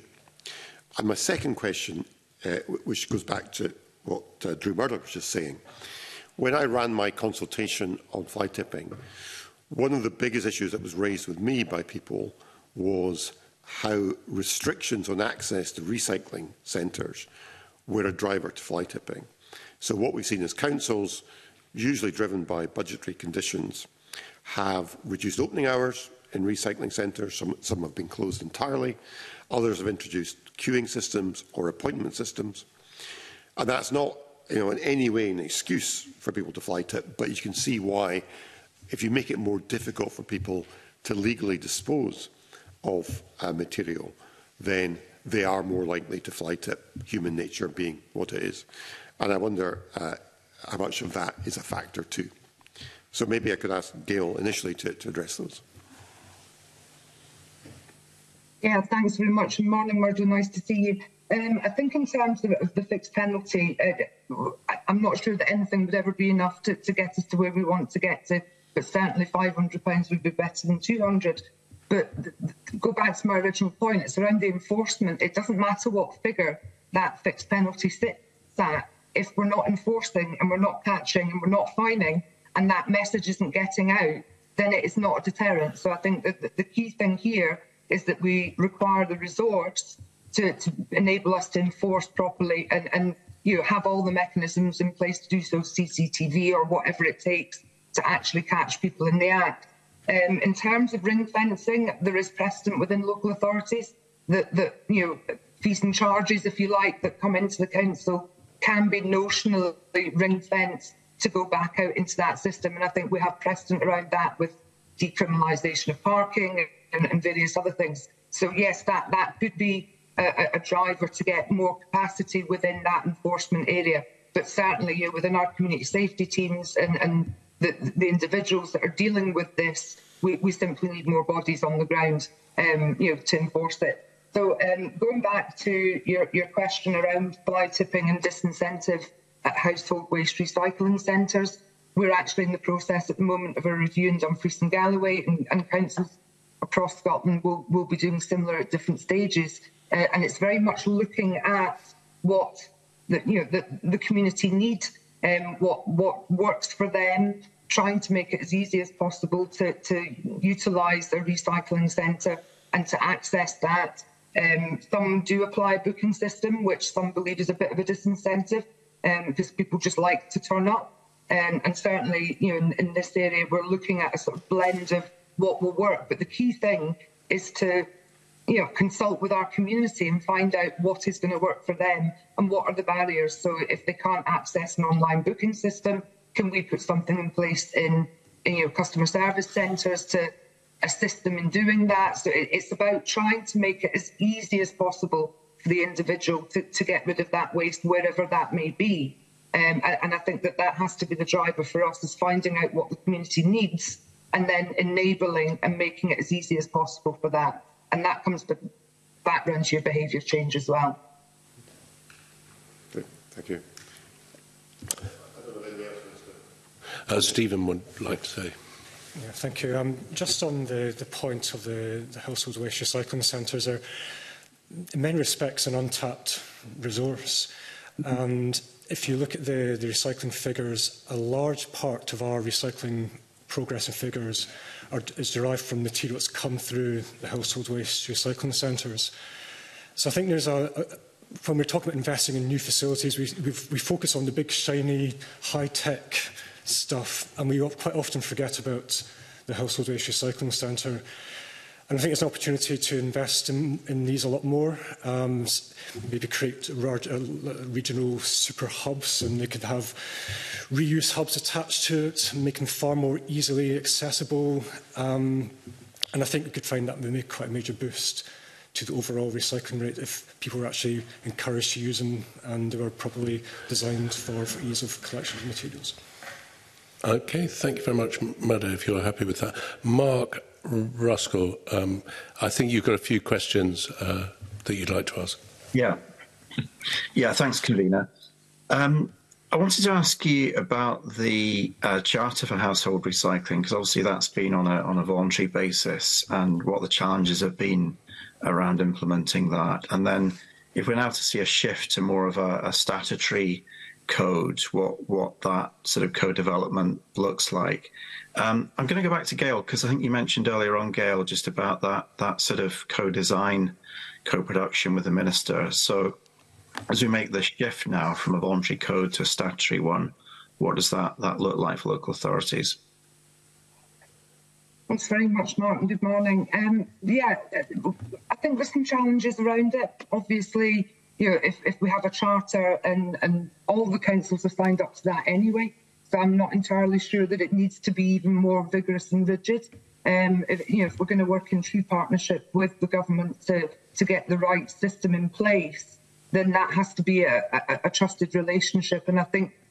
you know, that goes back to the issue around penalties for councils as well. If we are co-designing and co-producing the circular economy bill and all of its you know, moving parts, in, in true partnership, then we can't be talking about penalties or you know stricter charters. Um, Silken might want to come in on, on this as well, but uh, there's a real spirit and, and a, a, real desire between myself uh, and Lorna, the minister, to, to get this right. But I'm not sure how we do that if you know the end the end goal is that we end up getting penalised for something. That to me is not true partnership, and I'd be very clear to impress that upon the minister that co-design has to be true partnership co-design, but Silk might have some more information around specifics. Mm-hmm. Thank you. Yes, um, ab- absolutely linking into what, what, what Councillor McGregor has flagged up there. Um, we don't think the, the, the key issue is mandatory or not. Um, if, you know, given that all 32 local authorities have signed up to the voluntary nature of it, the key thing is now to get the code of practice right. And the committee here has heard about, you know, some of the very specific challenges around about tenements, communal recycling facilities.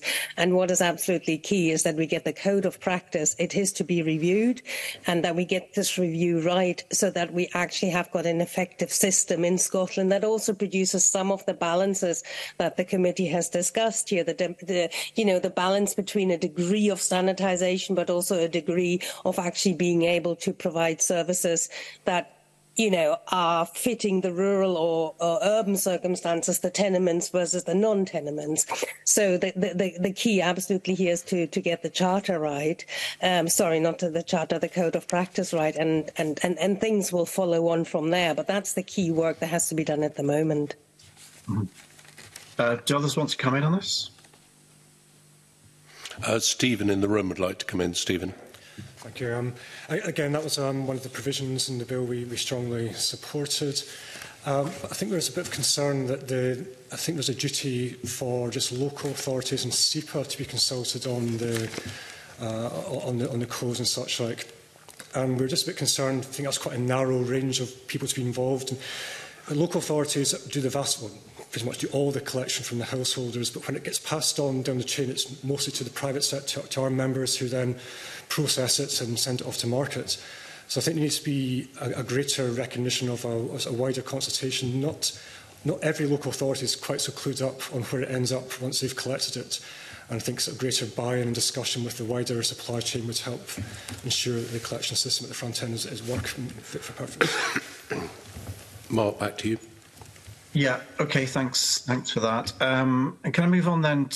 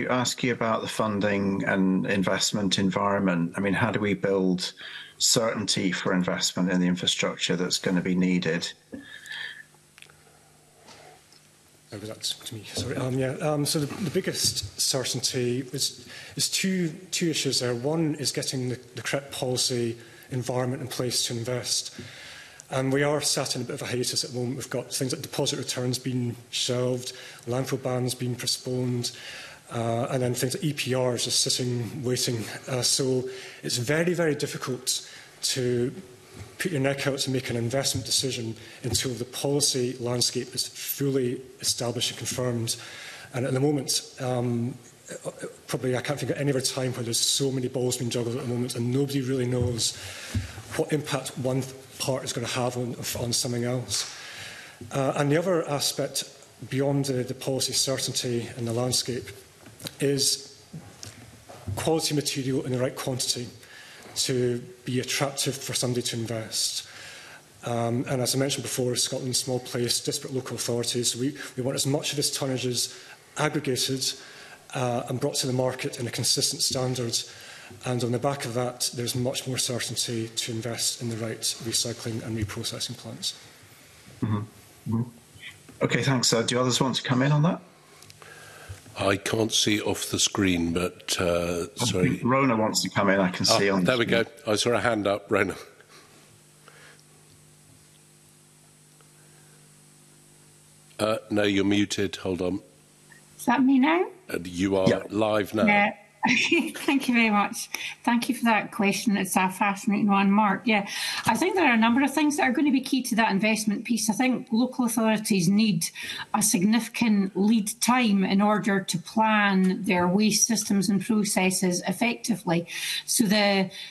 the kind of the the a lot of the concerns articulated around Woods and POPs are because of the timescales that we're now having to try and react within. So that lead-in time is going to be absolutely crucial. The availability of of accessible funding for local authorities is also important. So the restructuring, uh, sorry, recycling infrastructure fund has helped many local authorities introduce significant changes um, in terms terms of capital investment in their um, waste systems and processes at household waste recycling centres or in, in, terms of other capital investments, for example, the, the containers they're using, the technology they're applying. And at the moment, the RIF funding is, is due to end within a, a, a year or 18 months. So the local government is wanting to know what, what is the next stream of investment, where will that be coming from? Will there be another iteration of, of the RIF funding? Um, EPR and its ability to contribute to funding has all, already been discussed at length in this se session, and the ex expansion of EPR to a wider stream of materials would certainly be, in, uh, you know, absolutely indispensable in that. And another key element is ensuring that the investment is backed by solid evidence that the changes under consideration will deliver the outcomes that are required and that those changes are piloted and tested in different environments, urban and rural, um, because of the, the different ways in, in, which waste streams operate in those environments. So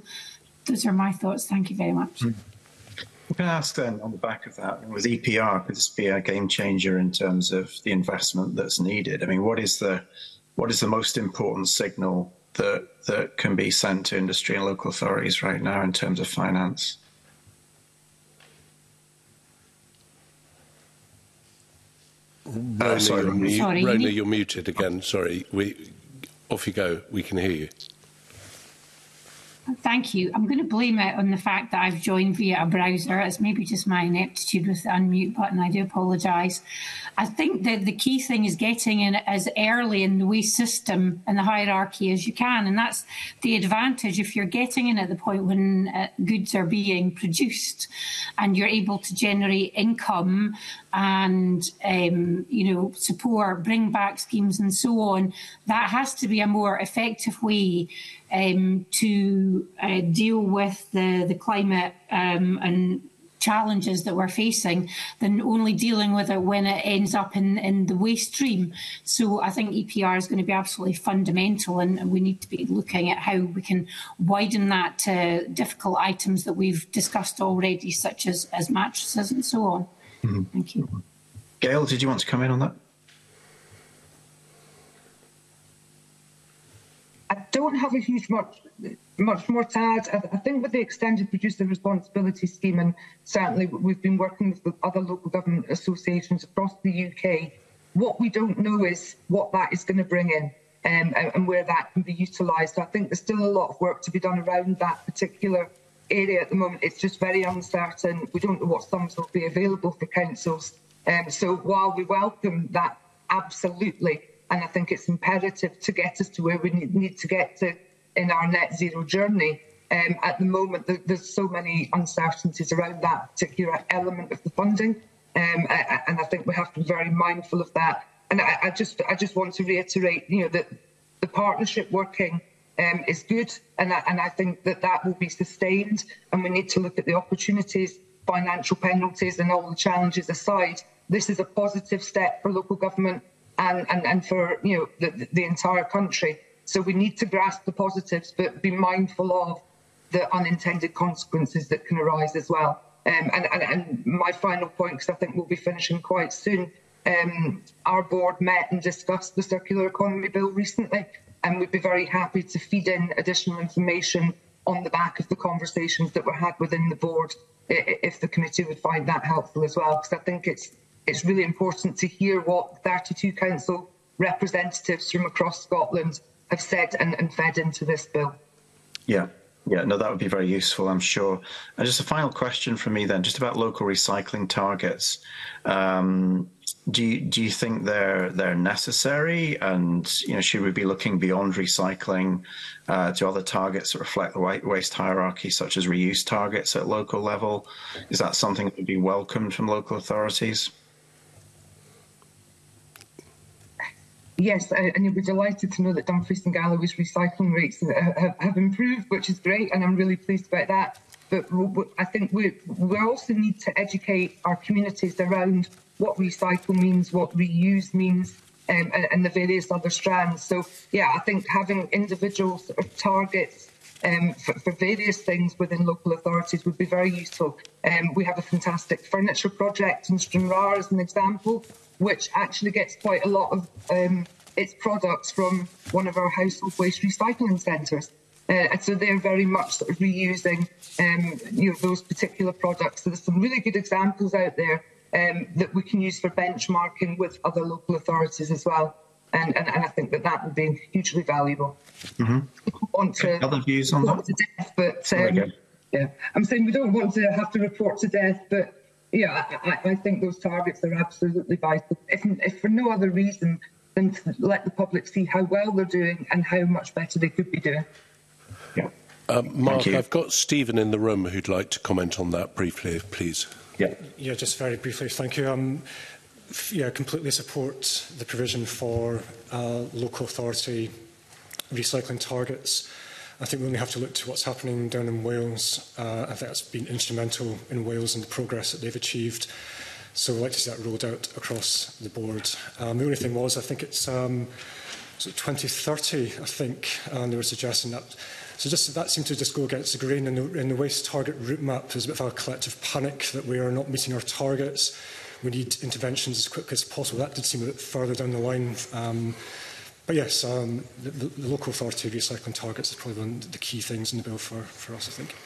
Uh, okay, Mark, if you're happy with that, are you happy with that? Thank you. Mark, I'm going to come to you briefly, Sarah Boyack, and see if you can trump Murdo phrase with two questions put, put to one person um, it, it, rather than lots of questions. He okay. says gently. That is very much appreciated, Convener. Uh, can I ask Gail McGregor um, a question about the estimates in the financial memorandum? Um, there's been a lot of talk about the need for investment. Do you agree with the estimates in there? And um, given the huge variation in terms of local authorities' current achievements in terms of recycling targets, um, I think there's three below 30%, 12 over 50%, to address the best practice and the learning experience, where do you see the investment coming from in capital and in revenue expenditure? Morning, Sarah. Nice to see you. Um, I, I, think it would be fair to say that the, the financial mem memorandum is not capturing the full cost to local government, uh, and I think we've made that fairly clear in our evidence. Um, obviously, the, the, the, cost of the revised code of practice for curbside collections it's impossible for us to determine the costs in advance of revision. Um, and, and, obviously, you know, we, we can't um, ascertain the full costs until we know exactly what um, the, the new systems are going to be. So, as I said earlier on, the extended producer responsibility team, there's some variables around what funding that would bring in. So I think at the moment, no, we don't believe that the, the memorandum is capturing full cost to local government. Um, but again, we will work to, to look at the undefined measures and, and the challenges and to try and quantify that future funding with government. Um, a lot's being taken on trust at the moment, which could make things very challenging for local authorities. Um, I, will maybe pass to, to Rona or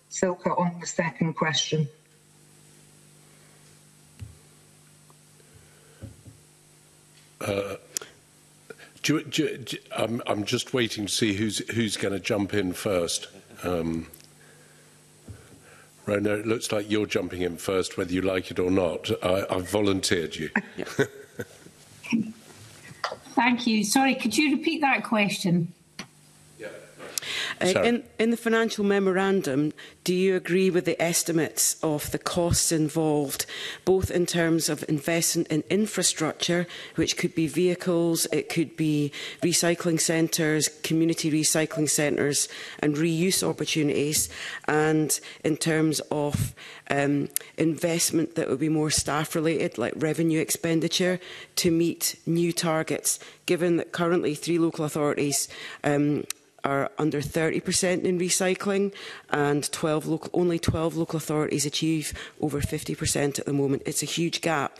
What are your views on the, how do you meet that gap financially?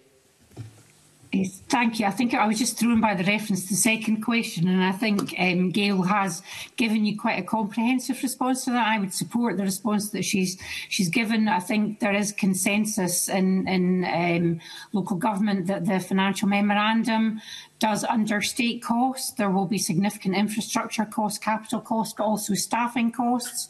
And those vary considerably according to economies of scale. So, for example, if you are running enforcement systems in an area like Glasgow, you will be able to achieve economies of scale that an area like Murray or Clackmannanshire could never achieve. So there are, are real concerns around about um, those costs. In terms of future sources of funding, I think we um, await some information about whether there will be any successor to the Recycling Infrastructure Fund. That funding has been very well received um, by local government and put to very good use, um, it, uh, particularly in some of the larger authorities that have the lower recycling rates. Um, to try, try and, um, produce a step change in their systems. Um, the challenge in terms of the costing for the bill is it's a framework bill and therefore elements such as the code of practice that will be significant determinants of the costs of delivering the bill haven't yet been co-produced and co-designed and as Gail said that that causes um, some consternation because the framework will be sealed when the, the bill becomes legislation, but all the, the work setting out the detail um, in a number of areas has yet to come. So in, in one area, for example, the disposal of green waste, many, uh, most local authorities now uh, derive significant income from that waste stream, but there is a suggestion that that will become a statutory collection that local government must collect. And that would be an area that would be looked at in terms of designing the code of practice. So there, there are a number of areas that, that could have a significant impact on costs for local government, but we don't yet have clarity about what the design in those areas will look like um, when they are finalised. So I, I hope that that covers your question, Sarah. Thank you. I think that's very useful. I think the challenge then is how does that actually happen if this piece of legislation is to be successfully implemented. Um, so you've mentioned there the issue about uh, compliance and awareness, and that's come up uh, several people so far today. Um, could you specifically tell us in terms of the financial memorandum, both what the challenge is, but what the opportunity is? Because I think with everything, the money has to be spent up front before there's income. So I don't know if either Gail McGregor uh, or Ronagan either, if you want to come in on your estimate of the, the gap there in terms of expenditure and income.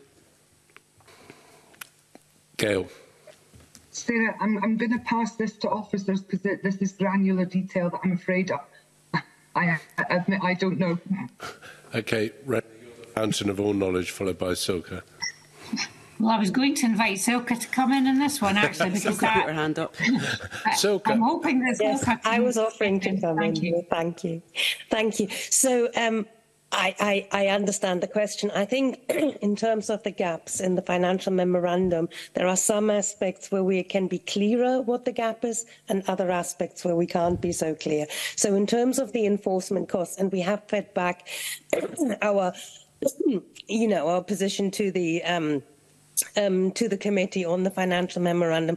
In terms of the um, enforcement costs, we can see quite clearly that we we don't believe um, we we don't believe that they're fully costed here. we we do believe that the um, enforcement costs will actually be higher.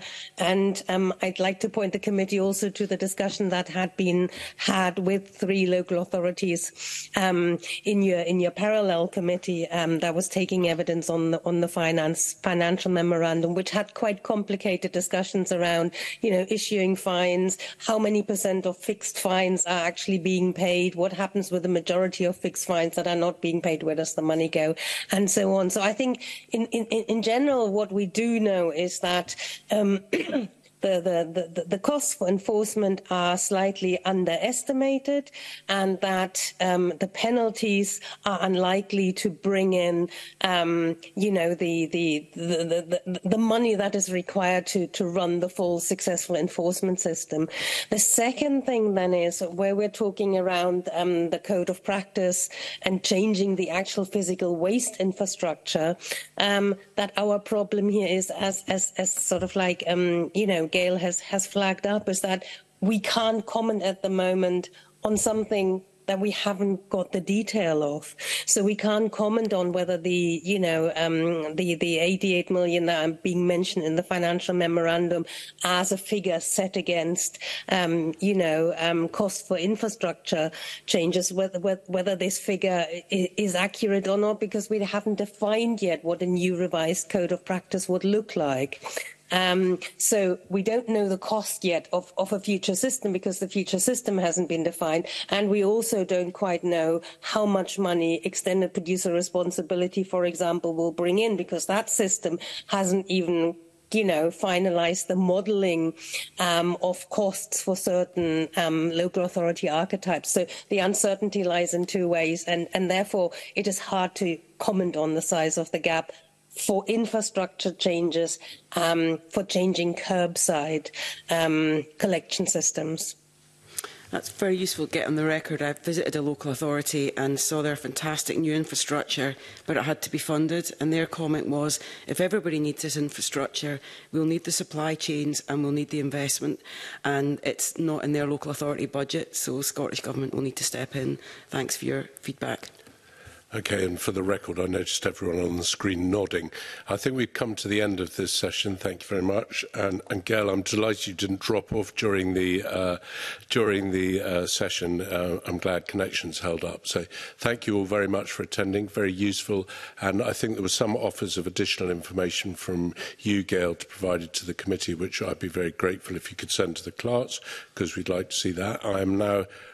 briefly going to suspend the meeting uh, to allow a changeover of witnesses and I'd ask committee members to be back here at 11.15. Thank you and I suspend the meeting.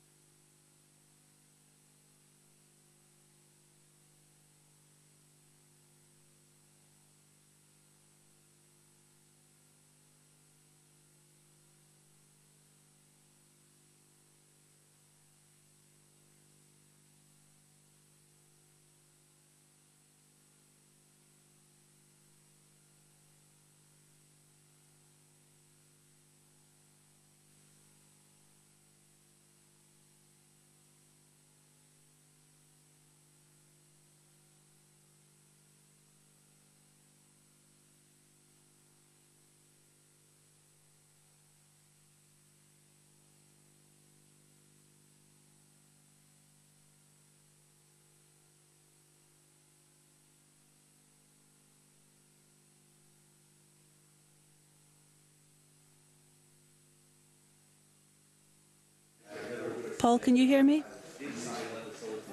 Okay. I'm not hearing you, but I'm seeing you.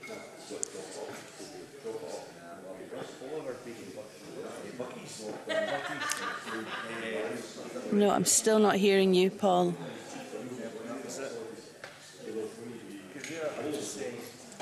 I'm going to put the fader back down, but you're still up. Can you try and speak to us again?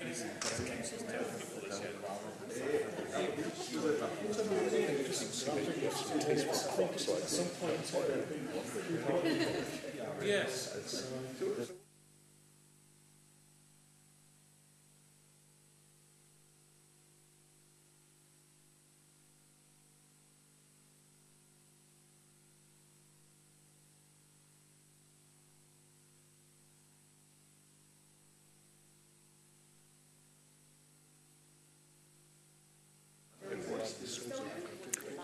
Paul, are you hearing me?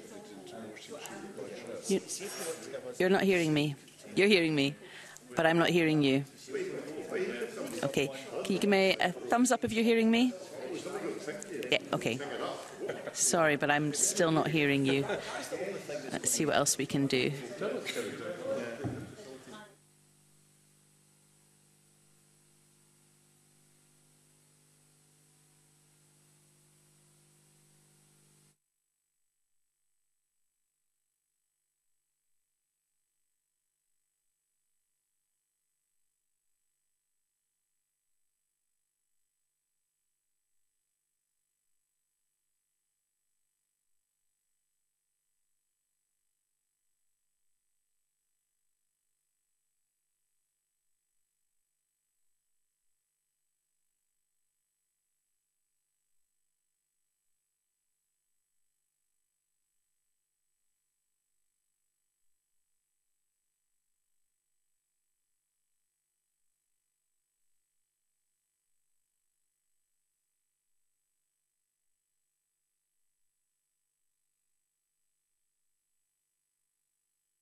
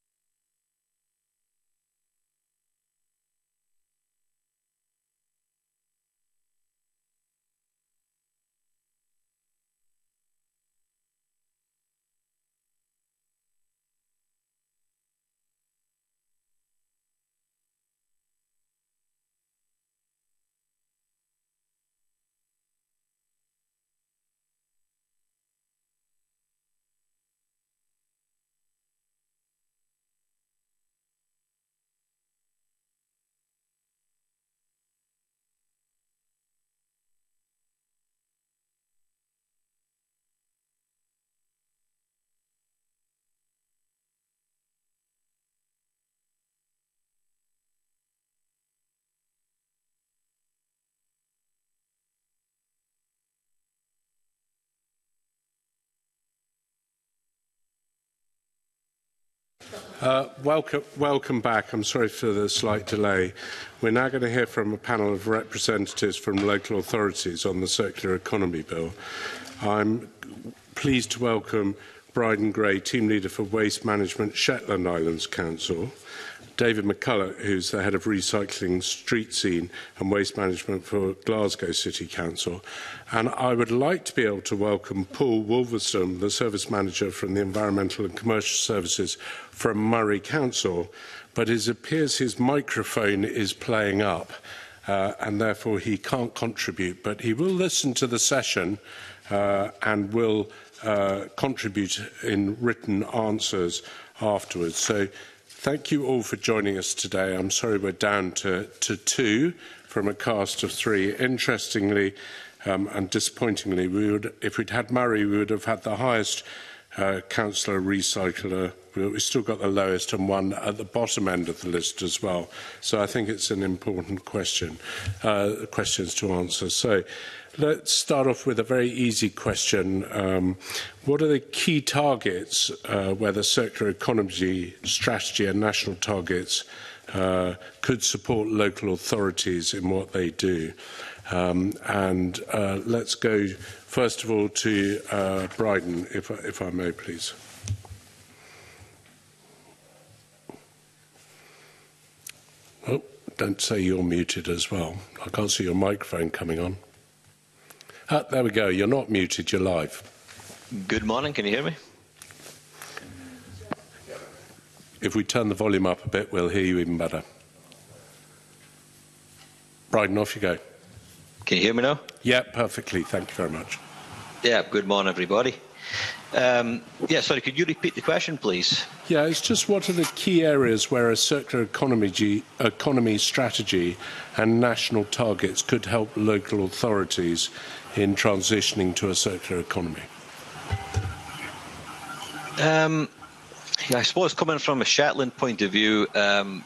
obviously we've got the, the lowest recycling rate, but behind that story, um, at the same time, we've got the third highest landfill diversion rate, and this is purely because of the, the district heating scheme that we run. Um, so we're speaking about targets and stuff. Then I think it's important to remember. Well, I suppose one size doesn't fit all when it comes to everything. We've um, We've got a recycling scheme that we run. We try to extract the most valuable materials because obviously once we ship a, a trailer off the island, you're speaking a thousand pound before it leaves the island as well. sorry for every trailer, uh, as well as the carbon footprint that every trailer is going to have as well. Um, so for that end, that's why we're I suppose that's why we've targeted the higher value materials, shipping them off the island, and back at this end we're burning um, the leftover residual waste, um, which provides heat for the for around 1,200 properties around uh, the main capital, Lerwick, uh, Sheldon, which is Lerwick. Um, I suppose that touches into other social things as well, because the likes of the heating from the district heating scheme, that's currently the cheapest form of electricity and heating. Um, we, it's only 7.5 pence per kilowatt an hour um, compared to electricity, which is 30 pence. So to that end, we're, uh, although our recycling targets is low, our rate is low, um, we're providing heat for this properties in Shetland, which I suppose is my argument, I suppose. Well, uh, it's an interesting point that one size doesn't fit all, and I think we take that. David, do you want to come in on, and comment on that? Good morning, everybody. Um, yeah, I, I, agree that targets are important. The objectives of where the direction of travel is extremely important, but it's worth highlighting that any targets or any objectives we put in there have to be realistic and they have to reflect the challenges, the design of that local authority. Out the, out the 30 local authorities in Scotland, each one of them is diverse. Even just what we've got in the room today, we've got an urban, we've got a rural, we've got an island. Each one of those local authorities have its own challenges, its own operating model. So therefore, to compare them like for like isn't isn't realistic, and therefore it sets a different level of standards. For us, um, recycling is important, but it isn't shouldn't be the only thing. We should be looking at um, as Brian was saying there, some of the environmental impacts, the diversion from landfill, the reduction of food waste, the, the carbon impact of our waste. So it's hard to pick what ones we're focused on. There shouldn't just be one or two. Should be, we should be looking at individual local authorities, what, what are constraints, what are the different challenges associated with them, and also set realistic targets based on the wider environmental goals. Okay, thank, thanks, David. And, and I'm afraid the next question is going to be directed at you because I suspect what I've just heard uh, from Bryden means that it, it might not be relevant on Shetland, but you can certainly come if you want, Bryden.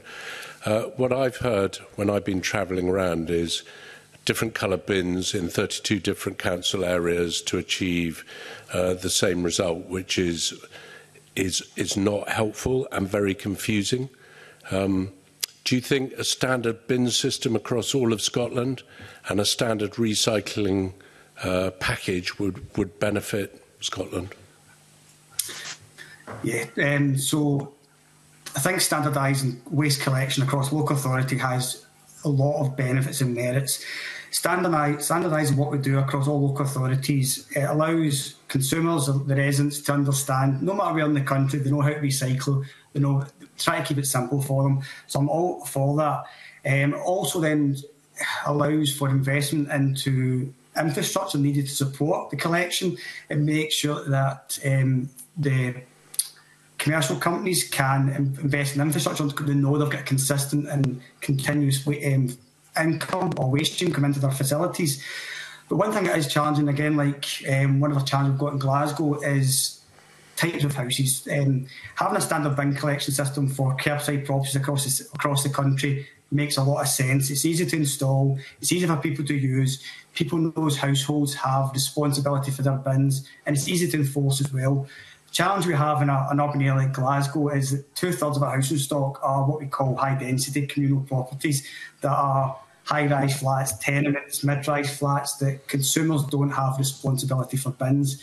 So, therefore, as part of the code of practice, they'll be eventually rolled out. Conciseness needs to be looked at about what kind of invest, what kind of service is needed for these communal areas. Um, so yeah, I go back to the standpoint. I do agree that standardising collections is important across the city, uh, across the country, sorry, but we need to be looking at the, the, the property types that don't fit into that mould. Um, Bryden, I'm going to give you the opportunity to tell me that Shetland only has two bins, um, or three bins, or four bins, and do you think a standard system would would be uh, of use?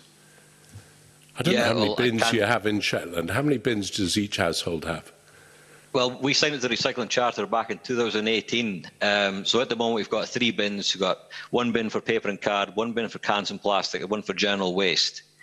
Um, the cans and plastic, we have a, a, mini materials recycling facility at the landfill site which separates the cans and plastic. So that's kind of how it works in Shetland. Then we build this material and send it south for, for recycling. Um, I would agree with standardising some of it. Looks at the colours and stuff of bins. Um, quite often we'll get tourists up here and they'll go to fire the wrong the wrong thing in the wrong bin because it's a different colour where they come from. So to that end, it certainly makes sense to, to standardise it. Okay. Um, we might have to recycle a lot of bins. Jackie, I think you've got some questions um, that you'd like to put.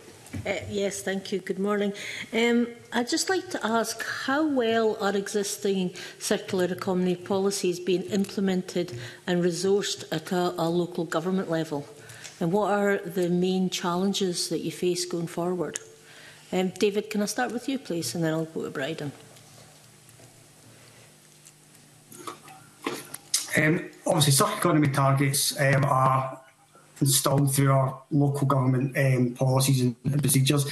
And uh, what we are finding more in a city like Glasgow is, is the supply chain. We have looked a lot in our recycling centres, our household waste recycling centres, looking at reuse, recycle, um, reuse, working with third sector. However, it's very challenging to um, work with the third sector or finding outlets for materials due to the scale. Um, and that's why we're talking about investments needed in the supply chain for Glasgow, especially because there is a lot of material that comes through our centres. There is a lot of material that people want to recycle. There's a lot of materials that could go back in to reuse or being redeveloped and or redeployed um, into worthwhile causes. But it's finding this, the systems and the schemes that are large enough to deal with the demand that a city like Glasgow has. So that's something we need to look at uh, wider with the third sector, with our suppliers, is building that supply chain that materials can get reused and redeveloped rather than ending up in a recycling scheme or ultimately sometimes into energy from waste. Okay. And Bryden? Sorry. Yeah, I suppose just following that from Bryden, yeah. Sorry. Yeah, sorry, just Sorry, Jack. Sorry, just following up on what David was saying. Then, uh, yeah, we're slightly similar, but obviously being in Shetland, we uh, there are not many outlets up here for that type of thing. We've got a reuse uh, centre that kind of takes some stuff uh, for reusing up here, but um, most of our stuff does go uh, down for recycling or uh, energy from waste, of course.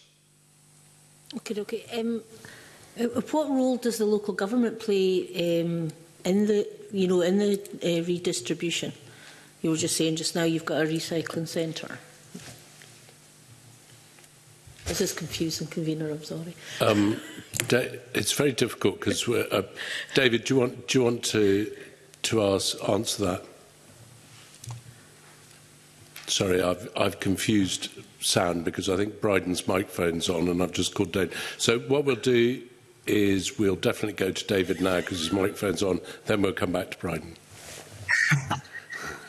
Yeah, so the local the local authority plays a vital role, um, and I think we here see ourselves as more of a coordinating role.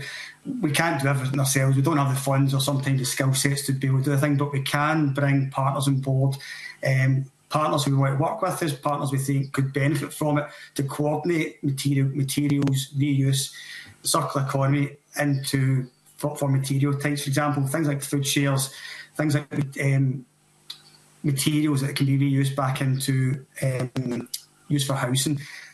It's difficult for us to do it through procurement and some of the, the constraints that local government have, but we can see ourselves sitting in a kind of group of a, a, working group or a body to support that, but we won't be. The, we don't see ourselves as the people driving it.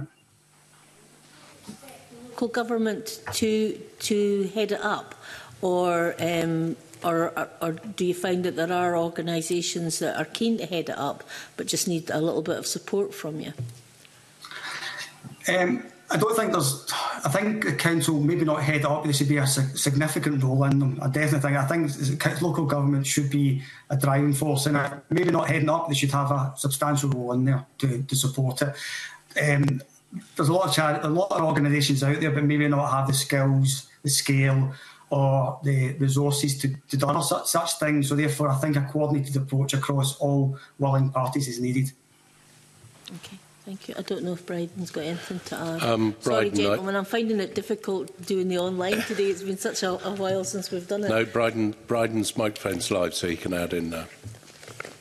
Yeah, no, I probably just back up what David is saying. To be honest with you, we don't, um, we don't lead as such uh, on reuse schemes, but there's, there's people in Shetland that uh, deal that kind of thing. For example, there's a, a community repaint scheme. Uh, that's what we call the co-op.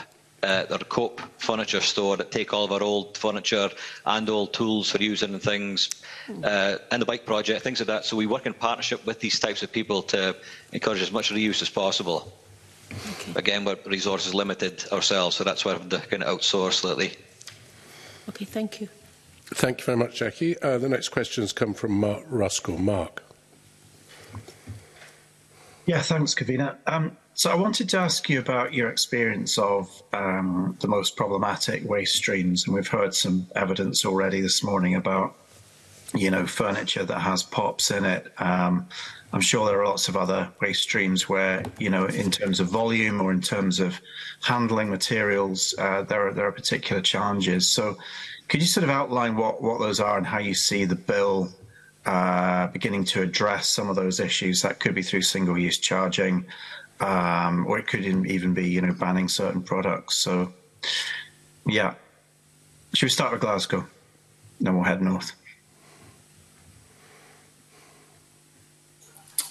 Thanks. Um, there's a lot. There's a lot. There's a, there's a few significant um, problematic material just now. You have got lithium ion batteries, which from our own experience, we have seen um, number, of number of fires within collection vehicles at a recycling centre and actually from energy from waste plant, we've seen significant fires. So that's become an ongoing problem. Um, and, and, although we've, we've, started some initiatives where we can um, bring materials back to recycling centres and put it back onto longer term recycling, the uptake for it isn't been, isn't been great. A lot of the materials end up in bin, especially the vapes and and electronic equipment with lithium batteries inside it. So something needs to be done to tackle that. Is an outright ban on some of these um, items? Potentially, yes. Or is it looking at the manufacturers, the producers of these equipments to make sure that batteries can be removed or there's a take back scheme to support it? POPs is obviously a, significant problem for local authorities moving forward, and that will have an impact on how we're going to service, how we're going to run our services, what impact that's going to have on um, the public, um, or what impact that going to have on our budgets to deal with it. So it's a huge problem which we're working on just now with a lot of partners about how it will look going forward. It could end up with increased fly tipping, which brings other challenges to local local government as well of dealing with that. So for myself, the, the, these two materials are going to be causing significant problems to local authorities in the, in the immediate future.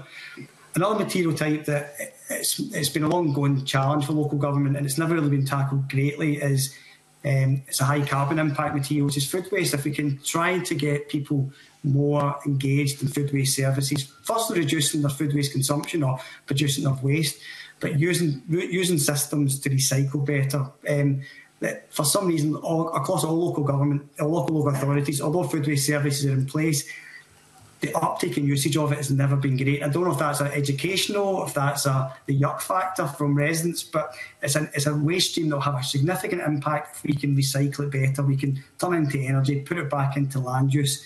So they're probably the three waste streams that I do think there needs to be a focus as part of this bill to tackle. Thank you. Bryden, we're coming to you.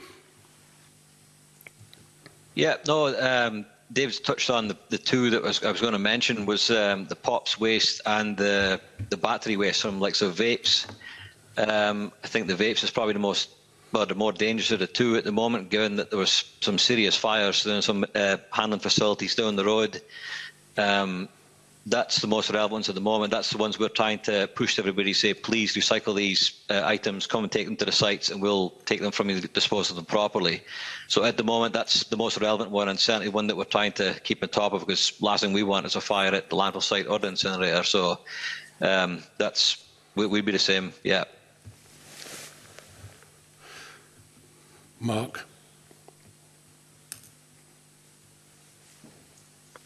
Mark. Yeah, thanks.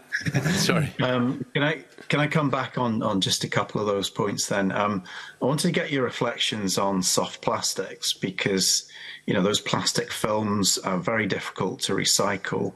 Um, I noticed that a plant had been set up in Fife and start to mechanically recover some of that. But is that is that an area where you think, in order to significantly increase recycling, we need to be addressing soft plastics, and whether you know a facility maybe on a national regional basis is needed?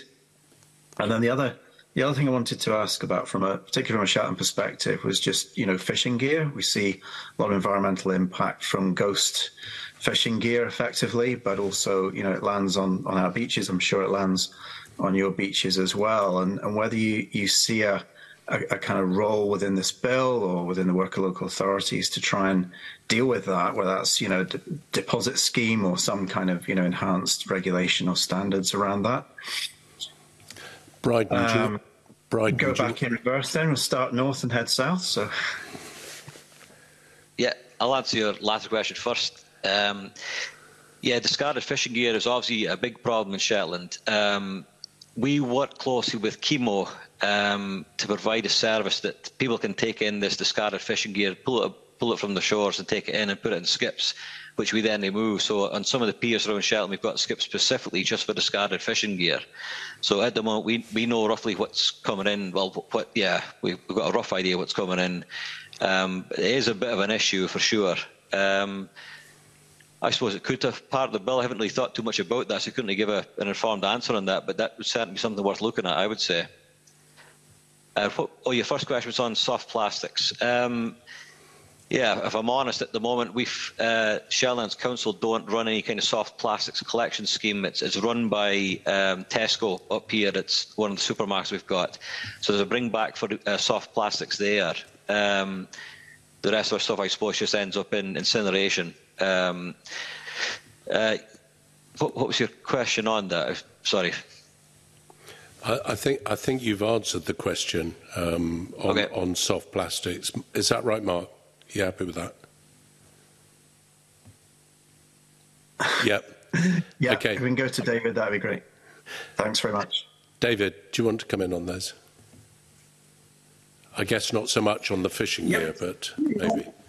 No, not Bashir, sorry. Not a huge need for it in Glasgow just now, but um, soft plastics is a significant challenge. Now in Glasgow, we don't offer it as part of our curbside collection service as yet. Um, we direct residents to local supermarkets, um, shops that have that return service.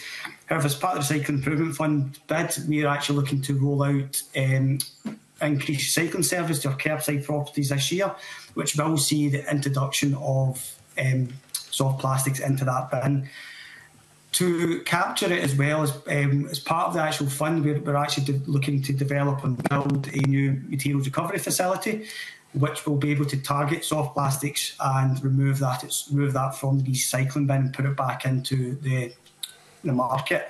This is just for our curbside properties just, just now. However, we're looking at a similar scheme or the, looking at the, the costs associated and, the deliverability of the, uh, delivering a similar scheme into our high density properties over a number of years.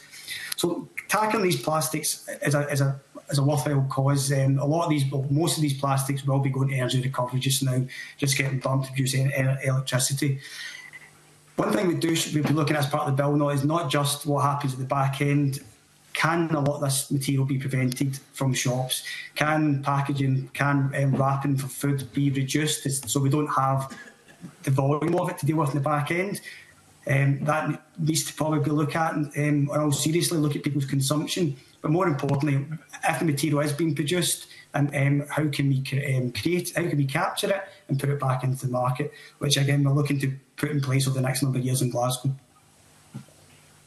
Okay, I, th Mark, have you got further questions? No? Is that you? I,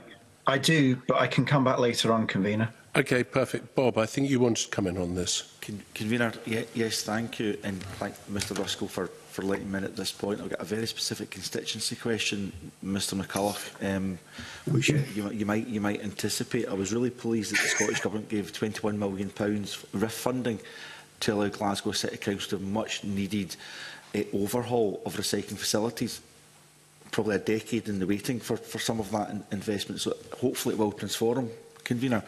But obviously I'm keen to know when the Blockhairn recycling facility, which is a significant blight for many of my constituents, may finally close to more and more appropriate facilities will be used. So that would be helpful, but also whether that £21 million investment is sufficient to allow Glasgow City Council to be on track to dramatically improve current recycling rates? And what percentage do you think you'll get to over the next few years once these new facilities and the new curbside, uh, the new curbside uh, collection is in place? Okay. Thanks. Um, in terms of the blocking facility, um, the, the works have already started at our development site. So Easter Queensley is the development site for our new, our new MRF. Demolition have started and procurement of equipment suppliers is, is, ongoing. It is estimated that the new facility and associated site will be um, commissioned by financial year 25-26. However, however, over that period, we know the existing blocking facility, which is 14 plus years old, is coming to the end of its natural life. And what will end up happening is that site will be scale back over time um, in line with the opening of the new site. So realistically, we're still looking at another two, two to three years of operations at the, the Blockian site. There'll be a, a, general reduction until the new site is ready and operationally. In terms of the step change for Glasgow, yeah, in the last couple of years, Glasgow has really set the ball with the horns and looked to do a step change supported by the Scottish Government to align our services. So today, the £21 million, along with investment from Glasgow City Council, has allowed us to invest in new infrastructure in terms of recycling um, facility block, uh, sorry, Easter Queensley. And we're in the process of commencing after Christmas period the introduction of a paper and card and mixed containers service for curbside properties, which will see an increase in, in recycling from that type of material. The biggest challenge I've said already for Glasgow is two thirds of our housing stock is communal properties. Communal properties are eh, notoriously difficult to recycle from. As I said, there's no ownership of material. All you need is one one resident from a, a block of te eh, tenements to contaminate a bin, which makes the whole bin contaminated. So although we've not a plan in place, we are working still with Zero Waste Scotland on what will the future design of that side of the service look like, and we're looking to understand how will we develop the high density properties. It's not as straightforward as a curbside property, as we've already said. It's got its challenges. So we understand what will that service look like. More importantly, how will we fund it? And that's going to be the biggest challenge for Glasgow. So we're on a trajectory of improvements. We are seeing already seeing some very early signs of improvements from the infrastructure work we've done in place. However, there's still a lot of work done in Glasgow and, and investment needed to really kind of buck the trend of the current cycling targets, or sort of recycling um, figures. Thank you. David, you've answered a very specific uh, constituency question, which uh, I've sort of let slide through. Um, okay. and maybe not so generous in the future. but Bob got away with it on this time. But I'm now going to go to the Deputy Convener for some focus questions, Ben. Thank you, con Convener. Um, just, it's really invaluable to get your, your insight today because the practicalities uh, on the ground, particularly when it comes to implementation and enforcement, are so crucial in this, this area of consideration. So, just uh, in that in that space, how useful do you consider the proposed new household waste enforcement mechanisms in the bill uh, to be uh, of fining households through fixed or civil penalties for misuse of waste services and also similarly the new criminal offence in relation to the household duty of care to, to check credentials of waste carriers. Um, do you see these as gaps in your current enforcement toolkit? In other words, the bill as drafted, will it make a meaningful difference? Um, two positive.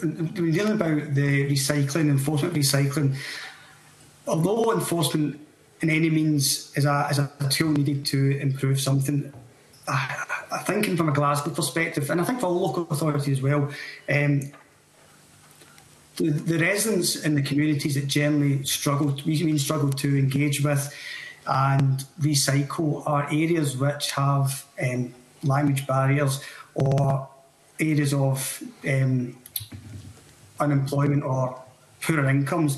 And therefore, we don't see how the an enforcement or a, a fixed penalty notice on these types of um, these householders will make a difference. Where we see a huge, a bigger benefit, across all recycling and all local authorities, is the education, the the engagement Trying to behavioural change. A, a big significant challenge we've got in Glasgow, but I, I, I dare say in every local authority, is behavioural changes. We're trying to put in infrastructure, putting systems in place is great. You can put the best infrastructures in place across the city. If we can't get the residents to use it effectively and efficiently, we're kind of wasting our time. So although fixed penalties notices may be a tool to be used. I think what needs to be done is far more engagement education at a national level to try and change behaviours about recycling. In terms of the duty of care, I do think there has to be more responsibility on people who get rid of material, um, stop fly tipping, and there is a there is a feeling that if somebody gets somebody with a white van to come and pick the material up, that's their part that's their part done. And nine times out of ten, some of this material ends up side of the road, illegally tipped, which causes problems. So I do think having people's awareness and responsibility of their requirements to get to success or appropriately remove waste from their homes is required. Thank you. Okay. Bryden. If you've got any more to add. You're on, Bryden. The bin police yeah. were on. The bin police, yeah. Well, we're quite fortunate in Shetland that uh, bin contamination uh, and also your white van man, we, we don't have any, as far as I'm aware, we don't have any white van men going around uh, offering to take away waste. Um, so we're lucky in that regard. It's a small place, obviously, so it's uh, it's a lot easier to police that kind of thing. I would fully agree with David. Um, I don't think a fine would be the right way to go. I think education is the key to that. Um, we've had some issues with bins and contamination up here, but the tagging system that we use and speaking to the people, they'll phone up and just having the conversation with them is sometimes all it takes for them to to realize what they're doing wrong. Sometimes just they, they don't know. Um, so I would I would say that education is the way to go, and fine would be the very very last um, scenario I would say. Okay, that, that, that's helpful. So um, finding uh, households, you, you say, is, uh, is, is uh, less of a priority than educating households, but holding um, carriers of waste to a higher degree of account is something that you support. Yeah. Yeah, oh, de definitely, yeah. Um, yeah, I, I get David's point entirely. Uh, the problems that's down south in, in the more kind of urban areas, it must be a, a bit of a pain, to say the least. Um, not something we have any experience up here with, but I would fully support that. And um, in terms of uh, contamination, which, uh, if I can just come back um, to to hearing Glasgow's considerations around this, um, given that uh, Shetland has, uh, you've stated that Shetland doesn't have a, a problem with contamination of recyclate, so maybe there's some lessons we can learn from there. Um, but uh, in terms of the contamination, uh, Uh, feel free to just answer yes to this question, but it seems that uh, in order to change that, it's about changing household behaviour and education and information. Um, yes, there's a need for more sustainable product design and um, producer responsibility, but actually, uh, it's all about making sure that people put the right waste in the right place. David, do you want to answer on that? Yes, I agree to that. I think probably the, the, the statement of trying to make waste as simple as possible for the residents to know they know the right bin, know where it's going to go, make a significant issue, a significant benefit. Thank you. And, and just lastly, convener, if I may ask one more question, um, and this is regard to food waste. Um, which is relatively new in terms of households getting in the habit of of separating their food waste, but there's been some some reasonable success in this. However, um, some uh, stakeholders have raised concerns with us about the rise of bioplastics in food waste, and we've heard evidence about how uh, food waste can be contaminated with plastic liners that are non-biodegradable. So do we need to get a consistent position um, to make sure that uh, individuals, households uh, are putting their food waste in uh, biodegradable liners um, and that these ideally would be provided to house, households to help them in that, in that effort to avoid uh, the the contamination of food waste by bioplastics, i.e. normal plastic bags? Yeah, I agree. Contamination of food waste or, organic waste into the in the supply chain is extremely challenging. It does have an impact on the, the end user. Um, what we do need to con consider, though, when it's back to investment, is different plants, different um, um, recyclers of this material have different um, different plants. They can they can accept different types of material. So I do think the investment in the system, investment in the infrastructure is needed. But again, a consistent approach through all local authorities using the same materials, recycling um, the same um, same, edu same education information going out there, but linking it to the supplier, the the, the, reprocessor to make sure that everything we're doing um, is in line with their, their ability to recycle at the, at the end. I think that suffice. Okay, I think, Mark, you had a specific question uh, that you wanted to raise on, on that. Mark. Yeah, I, I wanted to ask about um, you know the wider point around charging for household waste collection, not just special uplift, but for um, for, for standard collections you know, I mean, there has been some responses to the bill that, that have suggested that, that this works in Europe, and there are ways to do it in a in a way which is is fair, um, a kind of save as you recycle type scheme. But I wanted to get your your opinions on that because not currently a provision within the bill, um, but whether that's something that that um, you know you can reflect on. Um, maybe start with David and then Brian.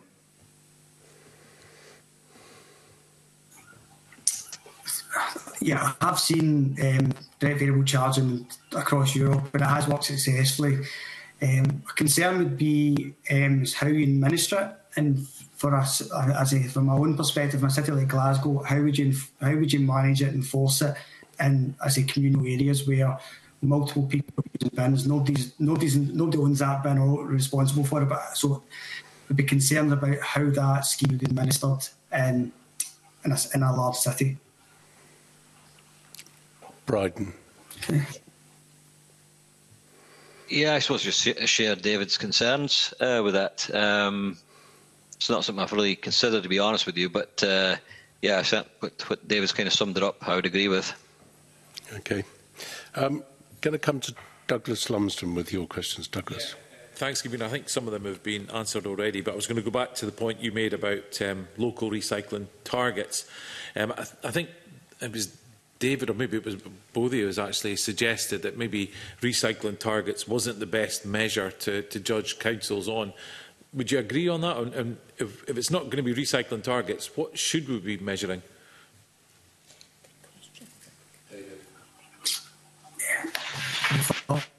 Um, recycling targets are part of the probably the story. Um, however, every local authority will have different challenges to meet recycling targets. So you couldn't, you probably couldn't easily compare a Glasgow to a Shetland to a, a less urban type of um, authority because the different challenges it has. Um, what I would say is, in addition to recycling targets that are tailored to the demand and the needs of that city or that, that local authority, we need to be looking at the wider things like diversion from landfill, um, recovery rate, um, looking at the carbon impact of the, the, the, cradle to grave of the journey. These are the things we need to be looking at as well, not just a single recycling um, target, because it doesn't give the full picture of what's the, the, journey of that, the journey of waste from cradle to grave. Okay. Bryden, anything to add? Uh, I would say that um, I, I, don't think targets, yeah, as David says, it's hard to compare different local authorities and likes of ourselves, I'll say it again probably, but um, if we were to start recycling another material and ship that from the island, all of our trailers are shipping off at hundreds of miles uh, on road and boat to get to where they need to go. And at some point, well, you have to take in consideration that as well. Um, what, what other, what other um, use would you have for measuring that? I don't know, but uh, we have to look at the whole picture. Special, well, up here in Charlotte Senate. It's the whole picture I'll be looking at.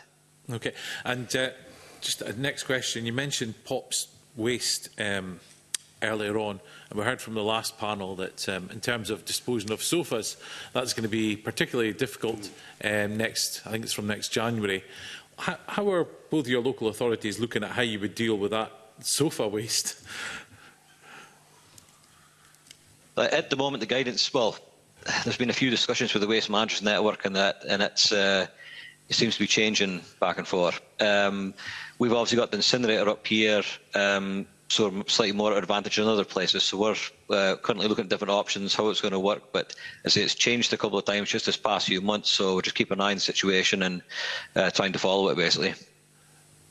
Uh, David.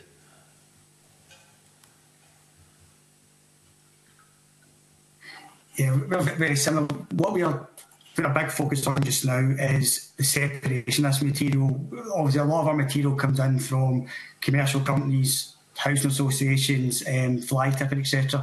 And even from the, from the public using the recycling centres, what we want to make sure is that pot material is kept separately to start with, so we're not contaminating further material types.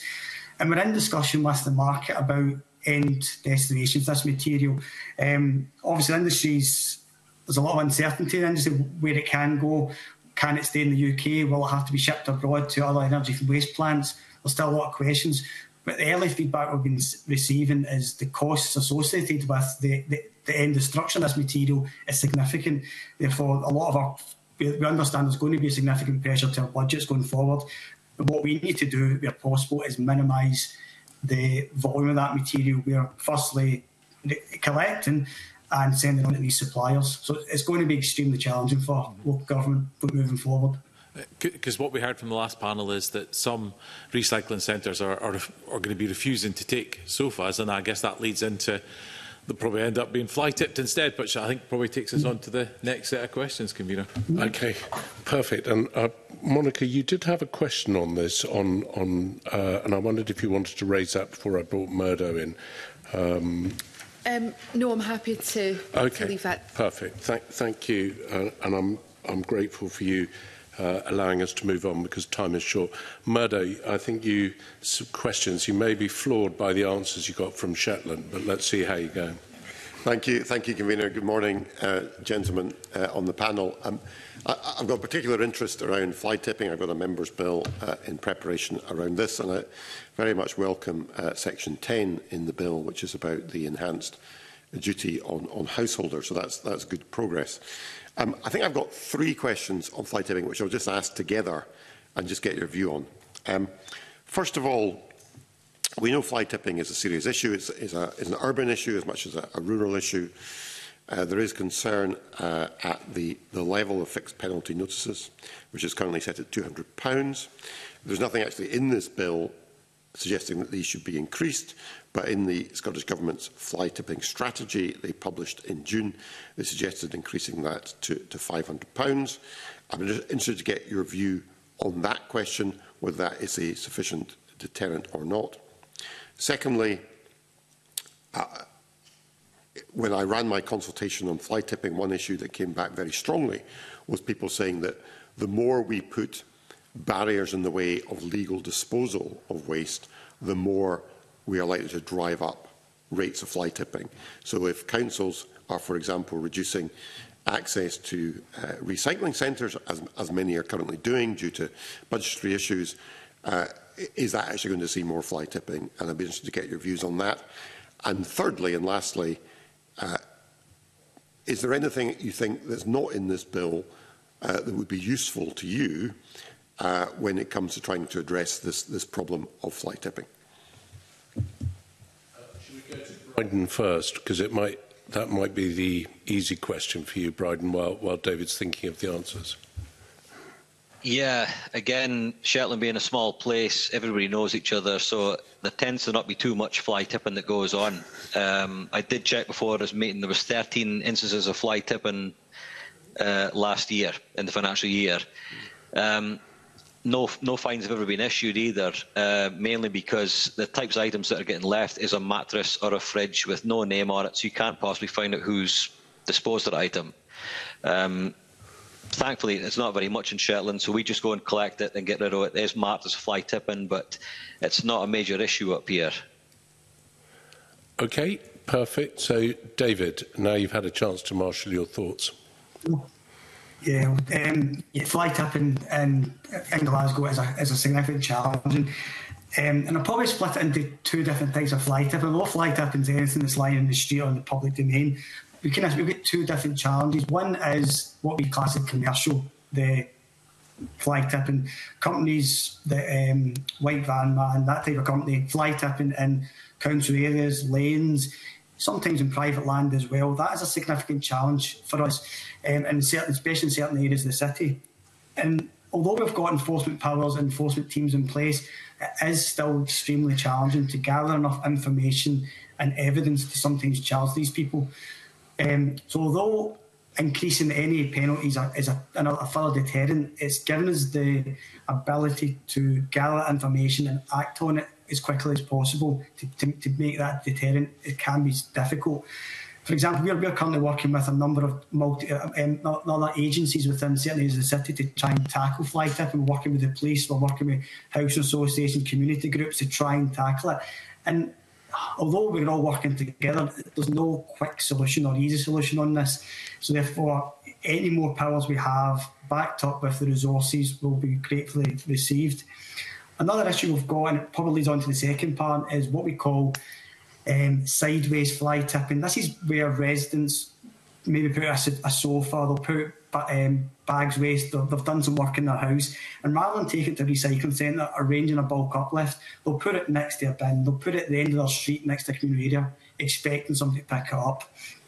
There's two issues to this. There's one of the challenges we see is um, over the number of years with some of the financial constraints in the local authorities, charging has came in for bulk uplifts. There has been extra restrictions, as you see, and some access to recycling centres, and does this have an impact on um, fly tipping? Another challenge we've got in, a, in a, an area like Glasgow is not a lot, every, not everybody has access to a car, so therefore directing people to the household waste recycling, which is not, which is predominantly set up to, to access the vehicle, can be quite challenging. And if people don't have the the finances to pay for bulk uplift, that material is left on the street. So although it's is flight up journey from the house, it's, it's, still a significant challenge. And, that is where we look at is looking at funding local governments or local authorities waste services to allow this to be a free, free of charge service. It's something that might be looked at. But it goes back to my last point. Sometimes education, the engagement with residents, more appropriate about the, the appropriate way to dispose of waste might go a long way as well to dissolving it. Thank you. Yep, Murdo. Can I ask just one? Thank you, thank you both very much, and thank you, David, for that. And just one follow-up to you, David, if I can. Given what you said about problems with enforcement, which I absolutely appreciate, and resourcing, um, if, if we were to increase the level of penalties, um, would it be helpful if there were some mechanism whereby you could ring fence that money that would then go back into a better enforcement, for example, more resource into uh, your own team, for example? it's difficult. The, the enforcement, I don't, uh, and that's what it comes. I don't look after the enforcement. It's a separate entity, um, I, so I couldn't really comment on the ring fencing element. But I would support any investment in additional enforcement officers will be um, widely received. I know there's a, a national difficulty in recruiting recruit, um, some um, enforcement officers and that's that the business as well. So I think mechanisms need to be in place to encourage and engage and get people into that line of work. But any any funding to support additional enforcement would be greatly received. Okay. Thank you. Um, just just before we leave this subject, we heard in the last evidence session, and, um, and we've heard it before, about uh, people who are uplifting rubbish uh, could apply for an online certificate which costs in the, the mid £200, which is a paper certificate with no checks on it at all. Hmm. Um, David, would you support uh, liveried vans only for collection of, of rubbish with the licence number printed on the side to help residents understand that, that it was an authorised collector and that then checks were made to ensure that that waste found its way to the recycling centre and, and not the uh, edge of a road or, or wherever else it might end up. Yeah, I totally support. There is a lot of um, operators out there that have waste um, waste carriers licenses that we, we don't know the background checks before it. So therefore, anything that makes it easier for the residents, for businesses to use reputable businesses, will be greatly supported. So if that could be um, information inside the vehicles or some form of database that you go into to find out has supplementary checks been done, that would be better because we know there's, there's, there's people out there operating with waste managers licences that aren't compliant. Okay, and sorry, just to push one more thing. I think in the evidence we heard that, uh, you know, if it costs £200 to pick up the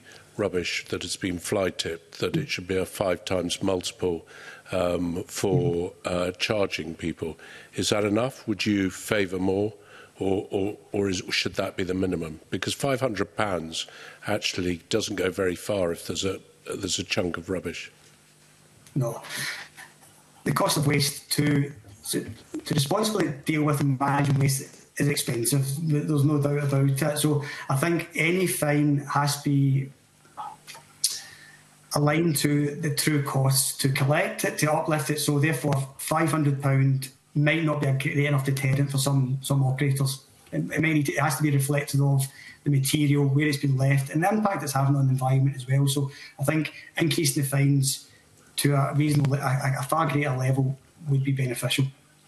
Okay, Jackie, I think you had a question you wanted to follow up on on that. Yes, it's, it's following along the, the same kind of lines. Um, it's regarding, uh, well, I think we've heard it from, from some evidence we've already taken, about do you think that manufacturers or suppliers should be taking more responsibility um, in recycling um, the, the older goods? For example, if you buy a, a washing machine, you can uh, pay, uh, you, you maybe get an, a, a chance to to pay like £10 or something for the folk that's dropping off the new washing machine to uplift your old one.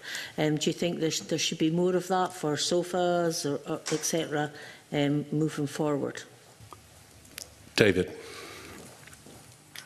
Yeah, more take backs we can build into the the system, the better. So that, that creates a, a true circular economy. Then if materials can go back into the system, be um, repurposed, repaired and put back into use. I do think with certain, certain material types, um, the producers and then obviously the, um, the people selling the materials should take responsibility for taking them back and finding appropriate um, recovery or recycling facilities in the back of it.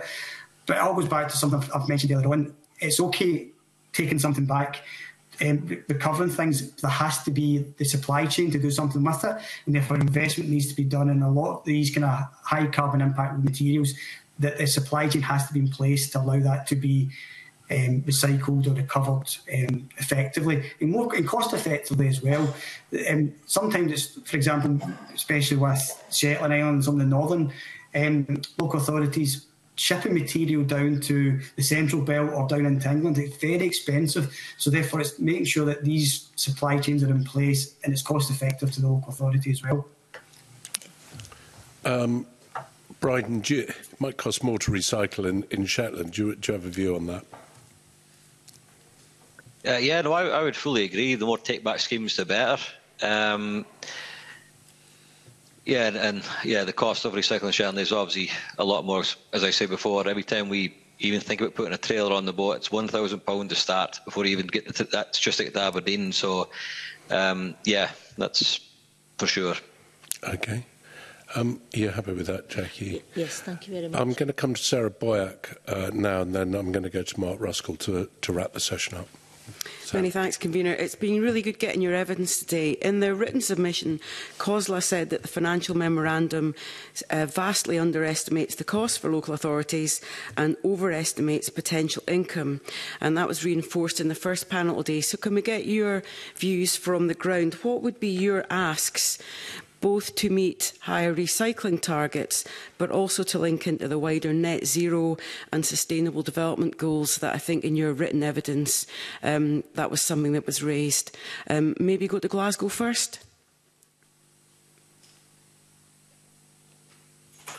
Right, um, can I briefly discuss it earlier. One of my answers um, for Glasgow to make that step change, which we've already committed to, and there is significant investment needed in improving our infrastructure, improving our supply chain, but also keeping on top of the education enforcement, the, the training of our staff and the residents of Glasgow.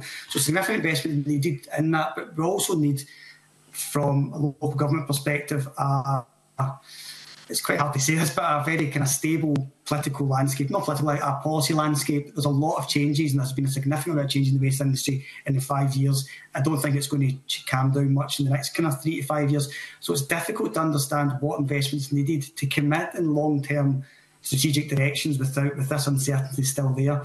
So there's two things. We, we do need the capital investment to improve, to eh, invest in infrastructure. We will also need a kind of a more stable policy landscape. Um, in terms of embedding circular economy full time, I think a lot of it is embedding the practices. So the circular economy bill will hopefully support embedding circular economy practices into day-to-day life, into how we consume things, how we buy things, um, but also how we operate our businesses, making sure that circular economy is built into um, how we work, how we work and live our lives. And I do think legislation and policy will be, be able to do that to embed it into local government, businesses, um, to to make that to make that um, reality. I think just one area on its own won't work. It has to be embedded across different areas to make it truly circular. Thank you. That's very helpful. Thanks. And. Uh from Shetland. Brian, have you got a view on this? Yeah, I mean, if we're speaking about Shetland's recycling rate then how we're trying to improve it, obviously we want to improve it all the time. Um, as David touched on, there's been quite a lot of changes this past few years with likes of the DRS scheme that we kind of hinged on, and we're waiting to see what what was going to happen with that because that's going to extract a lot of our stuff from our household recycling scheme, which would then give us a bit more room for working with like you know, pot stubs and trays, for example, for plastic. So that was our plan, um, which would have boosted the recycling figures, but that's changed. So we're kind of slightly in limbo still. So uh, as Dave maybe just a bit of stability and a uh, clear way forward. And again, for Shetland, um, definitely worth looking at the whole picture. Um, you know, we could we could spend a lot of money on fancy equipment to separate material, but if, if the material amount of material on the island is not very much, is it worth you know, is, is it going to be worth putting that equipment in? So the, the, alternative for that is do we ship it away for somebody else to do it, and is it worth it then? Uh, when you're taking the carbon footprint of the ship, the stuff for hundreds of miles from the island, boat and trucks. Um, so yeah, it's a lot of thinking to do overall. It's not just case looking at our figure, thinking how can we get that better. Like what's what's actually the best way forward for Shetland, and taking everything into consideration, not just recycling. Yeah, that's very helpful, that, that idea about clarity for supply chains and investment. Um, I suppose the challenge is how you use the opportunity of this legislation and the discussions around it to actually get that. Thank you very much, Convener. Okay, thank you. Mark, I think you've got a couple of questions you'd like to pose. Yes, thanks, Kavina. Um, uh, just a couple of questions. I'll maybe just write them up together. The, the last panel uh, mentioned the Recycling Improvement Fund. I just wanted to get your perspectives on that, how you've used that in, if you have, in recent years, and whether you see a continuation of that fund as being important to deliver the aspects that uh, that are covered by this bill. And then just a broader point about about the bill. I mean, it is a framework bill. Uh, it does have provisions to bring in secondary legislation. So maybe just a reflection on whether you've engaged with secondary legislation in the past, such as deposit return scheme, uh, other other you know bits of secondary legislation that are in this kind of waste management space, and you know what the most effective way is for you to for you to do that in terms of being able to input a view ahead of uh, decisions being made or as it's being scrutinised in Parliament. Uh, Brighton, just start with yourself. I'll go to David. Yeah, touching on your second point, I mean, like the DRS, uh, when that was being spoken about, we were speaking quite a lot with uh, the administrators of that scheme about how that was going to work in Shetland, because it's obviously it was going to be a slight bit of a nightmare, to be honest with you, because there was talk about shipping the material loose in trailers, which would increase the amount of trailers leaving Shetland. We weren't going to be able to bail it, uh, you know, bail the material to bulk it up. Uh, so there's an awful lot of work which wasn't, you know, right up till the very last minute, wasn't really looked at too much. Um, so yeah, I mean, we we would have been keen to to do whatever we could to help there. We tried to come up with some kind of solution where Shetlands Council would still run the recycling to a point. Um, but yeah, it was just needs a bit more thought before it actually does get implemented. And sorry, could you repeat your first question again? Just to remind me. Yeah, it was about the recycling uh, improvement fund, whether you've used that and how how significant you see that as a way of delivering some of the provisions and investments that are needed that will come out of this bill. Yeah, um, I'm not trying to make excuses here, but we uh, back in 2018, that's when we rolled out our um, household recycling scheme and we signed up to the charter. So at that point, we, we got a lot of funding. We got a new baler, new can balers, new materials recycling facility, new shed, bins, the lot. So to be honest with you, the Recycling Improvement Fund was slightly probably too late for us. We, we'd gone ahead and done our work then. And to be honest with you, um, we didn't go for any funding with the recycling improvement scheme because at the time we were still kind of waiting to see what was happening with DRS, which was going to change what happened in Shetland. So I was really a bit unsure what what direction to go with things. We, we could have gone more glass recycling, but the glass is going to come out of the um, with the DRS anyway. So uh, not to make excuses, but that's that's kind of why we didn't put in for the fund. Yeah, David.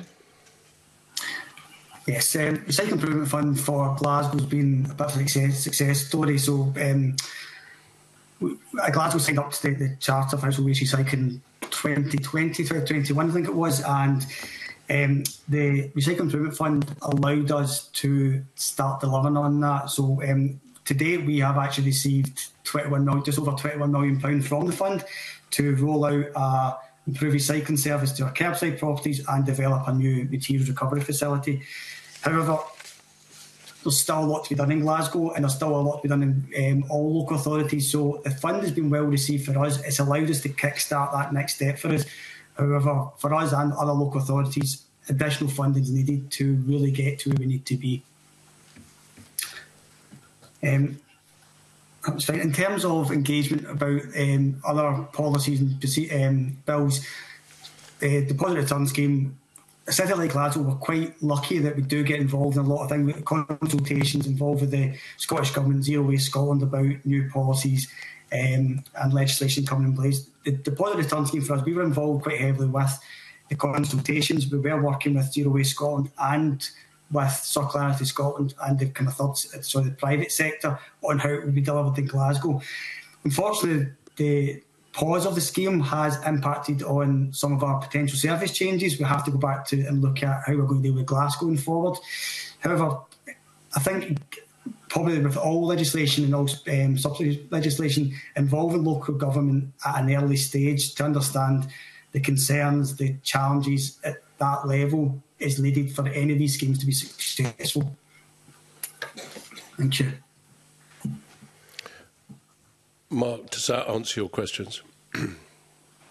um, yeah, I, I, think so. Cut out a little bit at the end, but I suppose the question is, based on the engagement you've had already with the development of DRS and other and other schemes, is that the kind of model of engagement you would expect going forward? So if there are, you know, more secondary legislation that's coming down the tracks, you'd expect that early engagement, you'd expect joint work with Zero Waste Scotland and through COSLA has that kind of you know despite some of the complexities around DRS and the changes, has that has that generally kind of worked? Is that an appropriate way for you to be engaged within this, and does that deliver enough certainty? I suppose.